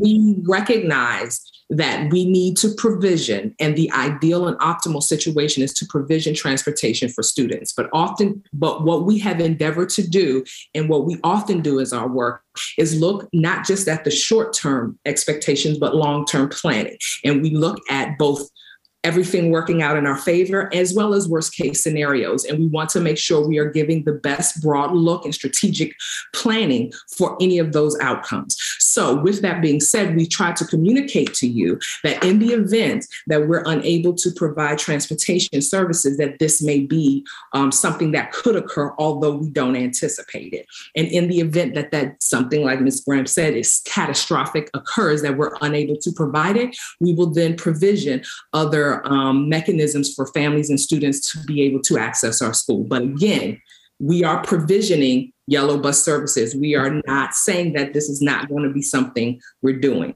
We have every expectation to provision it.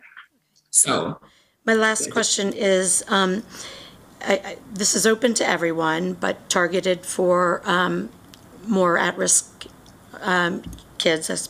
Um, how are you addressing enrollment in terms of either, like if you are over, is this going to be strictly a lottery? So anybody who's interested expresses interest or applies? Uh, I'm Well, assuming a it's not an application? Yeah, similar to, to the special programs that MCPS currently operates, Mhm. we accept applications based on the number of available seats that we are advertising in any given school year. And then if we have applications that exceed the total number of seats that are available, then the assignment of those seats then moves into a lottery distribute distribution process. So then that uh, so once we move from it, but a lottery is not necessarily automatic. It that is only in the event that our applications exceed our available number of seats. But that is the similar that is the similar way that the special program schools are currently operated across Montgomery County now. Okay, I guess that. All right, can I um, get a motion? I thought we weren't moving on anything. Oh, that's right, okay. Yes, You know today is what? just Well, discussion. We want to, we want to thank you for the presentation. Love it though. I like It was, it was, I, when she said, when Carla asked you about the recommendation, that's what made me think about so we'll that. come back on the 26th of Right, July. but we want to thank you for a very detailed presentation and a very detailed application, so thank you. And we'll be. Thank you for having us. And we are so excited to work with you guys to bring this vision to reality, to again extend the course offerings to provide an amazing program to Montgomery County students. So thank you so much, everyone here who has lent time, space, energy, and vision to our work. We appreciate In it. particular, Dr. Marcus, who has been invaluable to us. Thank Okay, you. So, so a very special thank you to Dr. Marcus being out of retirement and lending his new uh, new role to this work, and to, to uh, Nikki Hazel, who has been uh, by his side guiding his efforts in this area. So we uh, thoroughly appreciate both of those persons. All right, thank you. Thank you so much. Thank you so much.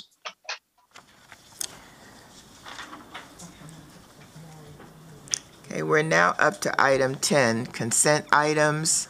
Does anybody have any item they want to pull? Lynne, I'd like to pull item 10.6, please. 10.6? Yes. All right. Is anybody else? Can I get a motion to move items 10.1 through 10.20 with the exception of 10.6? Move approval? Second. All in favor, raise your hand, and that is unanimous. Lynne, would you want to go ahead?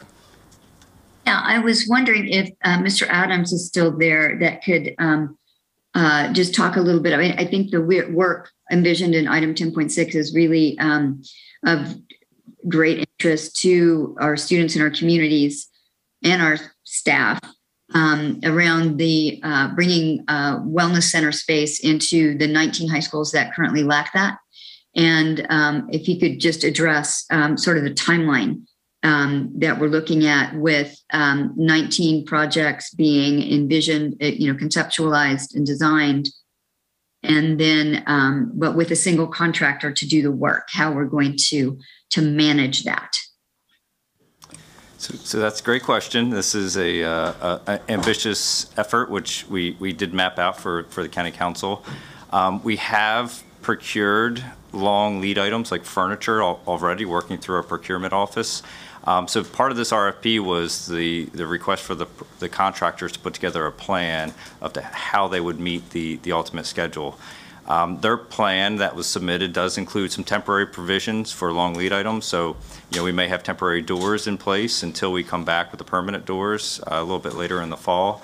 Uh, But this particular contractor did put together a plan that would open these spaces and allow them for, for occupancy and use the beginning of school year.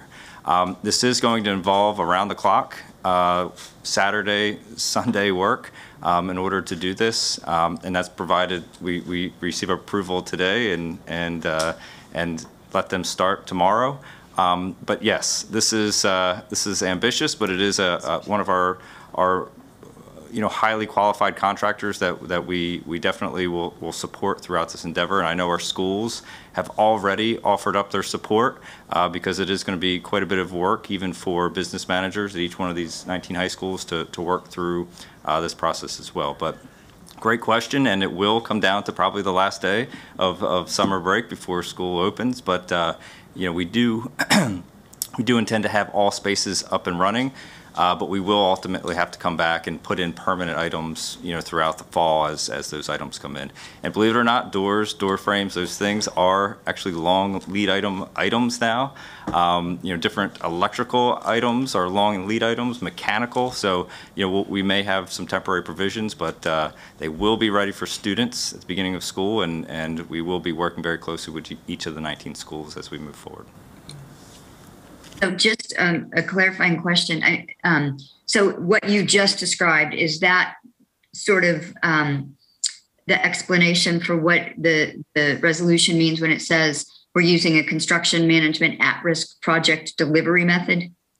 Yes, so this, this particular approach um, involves the, the construction manager performing more more services than you would typically see under a general contracting focus. So so they are performing some of that planning work. They are um, coordinating with schools. They are obviously lining up um, contractors, subcontractors to do the work that's necessary to to, to complete it. Um, so it does add an additional layer of supervision to the to the project, similar to some of our larger projects. Yeah, thank you you know, so we are committing here to having um, wellness center designated specific wellness center spaces fully staffed by the opening of the school year at all 25 high schools. Um, and, you know, just, um, you know, we take a victory lap. So, so, so just to clarify, the staffing is not MCPS. The staffing is through, uh, you know, Health Human Services. Yep. So, so we will, we are making the commitment that the spaces will be ready for staffing of, of health, the Department of Health and Human Services, which I know they're working very aggressively on as well. So we're, we're ready to do our part. Uh, the portable classrooms have already, um, you know, been awarded as well. So they were part of this work. So uh, we're, we're committed to being that partner and having the spaces ready for, for our partners and students on, on the first day of school. Yeah. Um, again, just um, such a reflection that what we've heard and seen from our students and our school communities this year has been heard. Um, so I think this is huge, and you know, letting all of our school, high school communities know when they're when they go by their buildings this summer and they wonder what the heck's going on. That's part of what's going on. Ms. Smondrowski. I have a question not related to this one. It's just a kind of a follow-up question to one we've already approved it, and I'm com- I'm comfortable with the, the approval. It's more just a question about the telecommunications centers. Um, just a making sure our school, the schools whose um, leases we are renewing here, they're aware that they've been up for renewal, correct?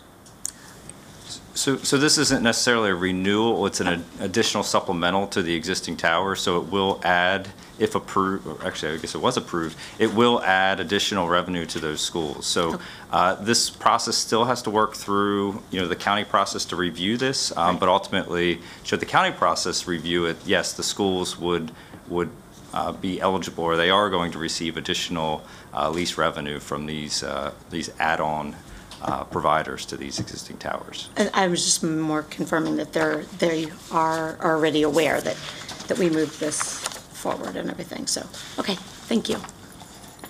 Can I get a motion to move 10.6? So moved? Second, Second. you're fine, we all second. All in favor, raise your hand. That is unanimous, thank you. Okay, um, we're now up to item 11. Can I get a motion to move items 11.1 and 11.2 in block? So moved? Second. All in favor, raise your hand. And that is unanimous. Uh, We now have an appointment to the ethics panel. I don't, I don't think I have it from here. I don't have the form.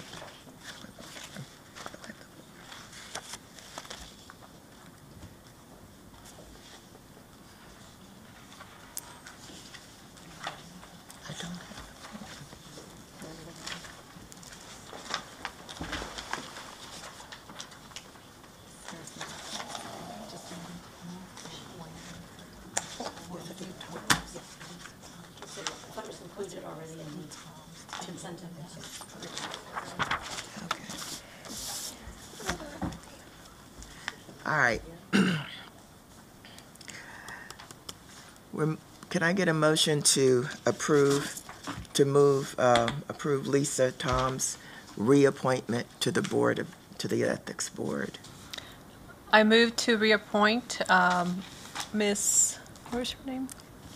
Lisa Tom. Lisa Toms to the Ethics Panel. Second?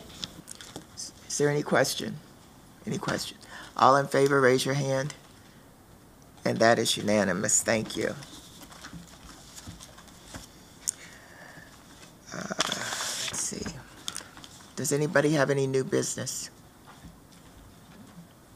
Okay.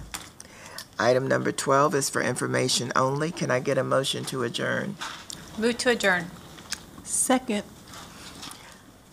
All in favor, raise your hand. And that is unanimous. Thank you.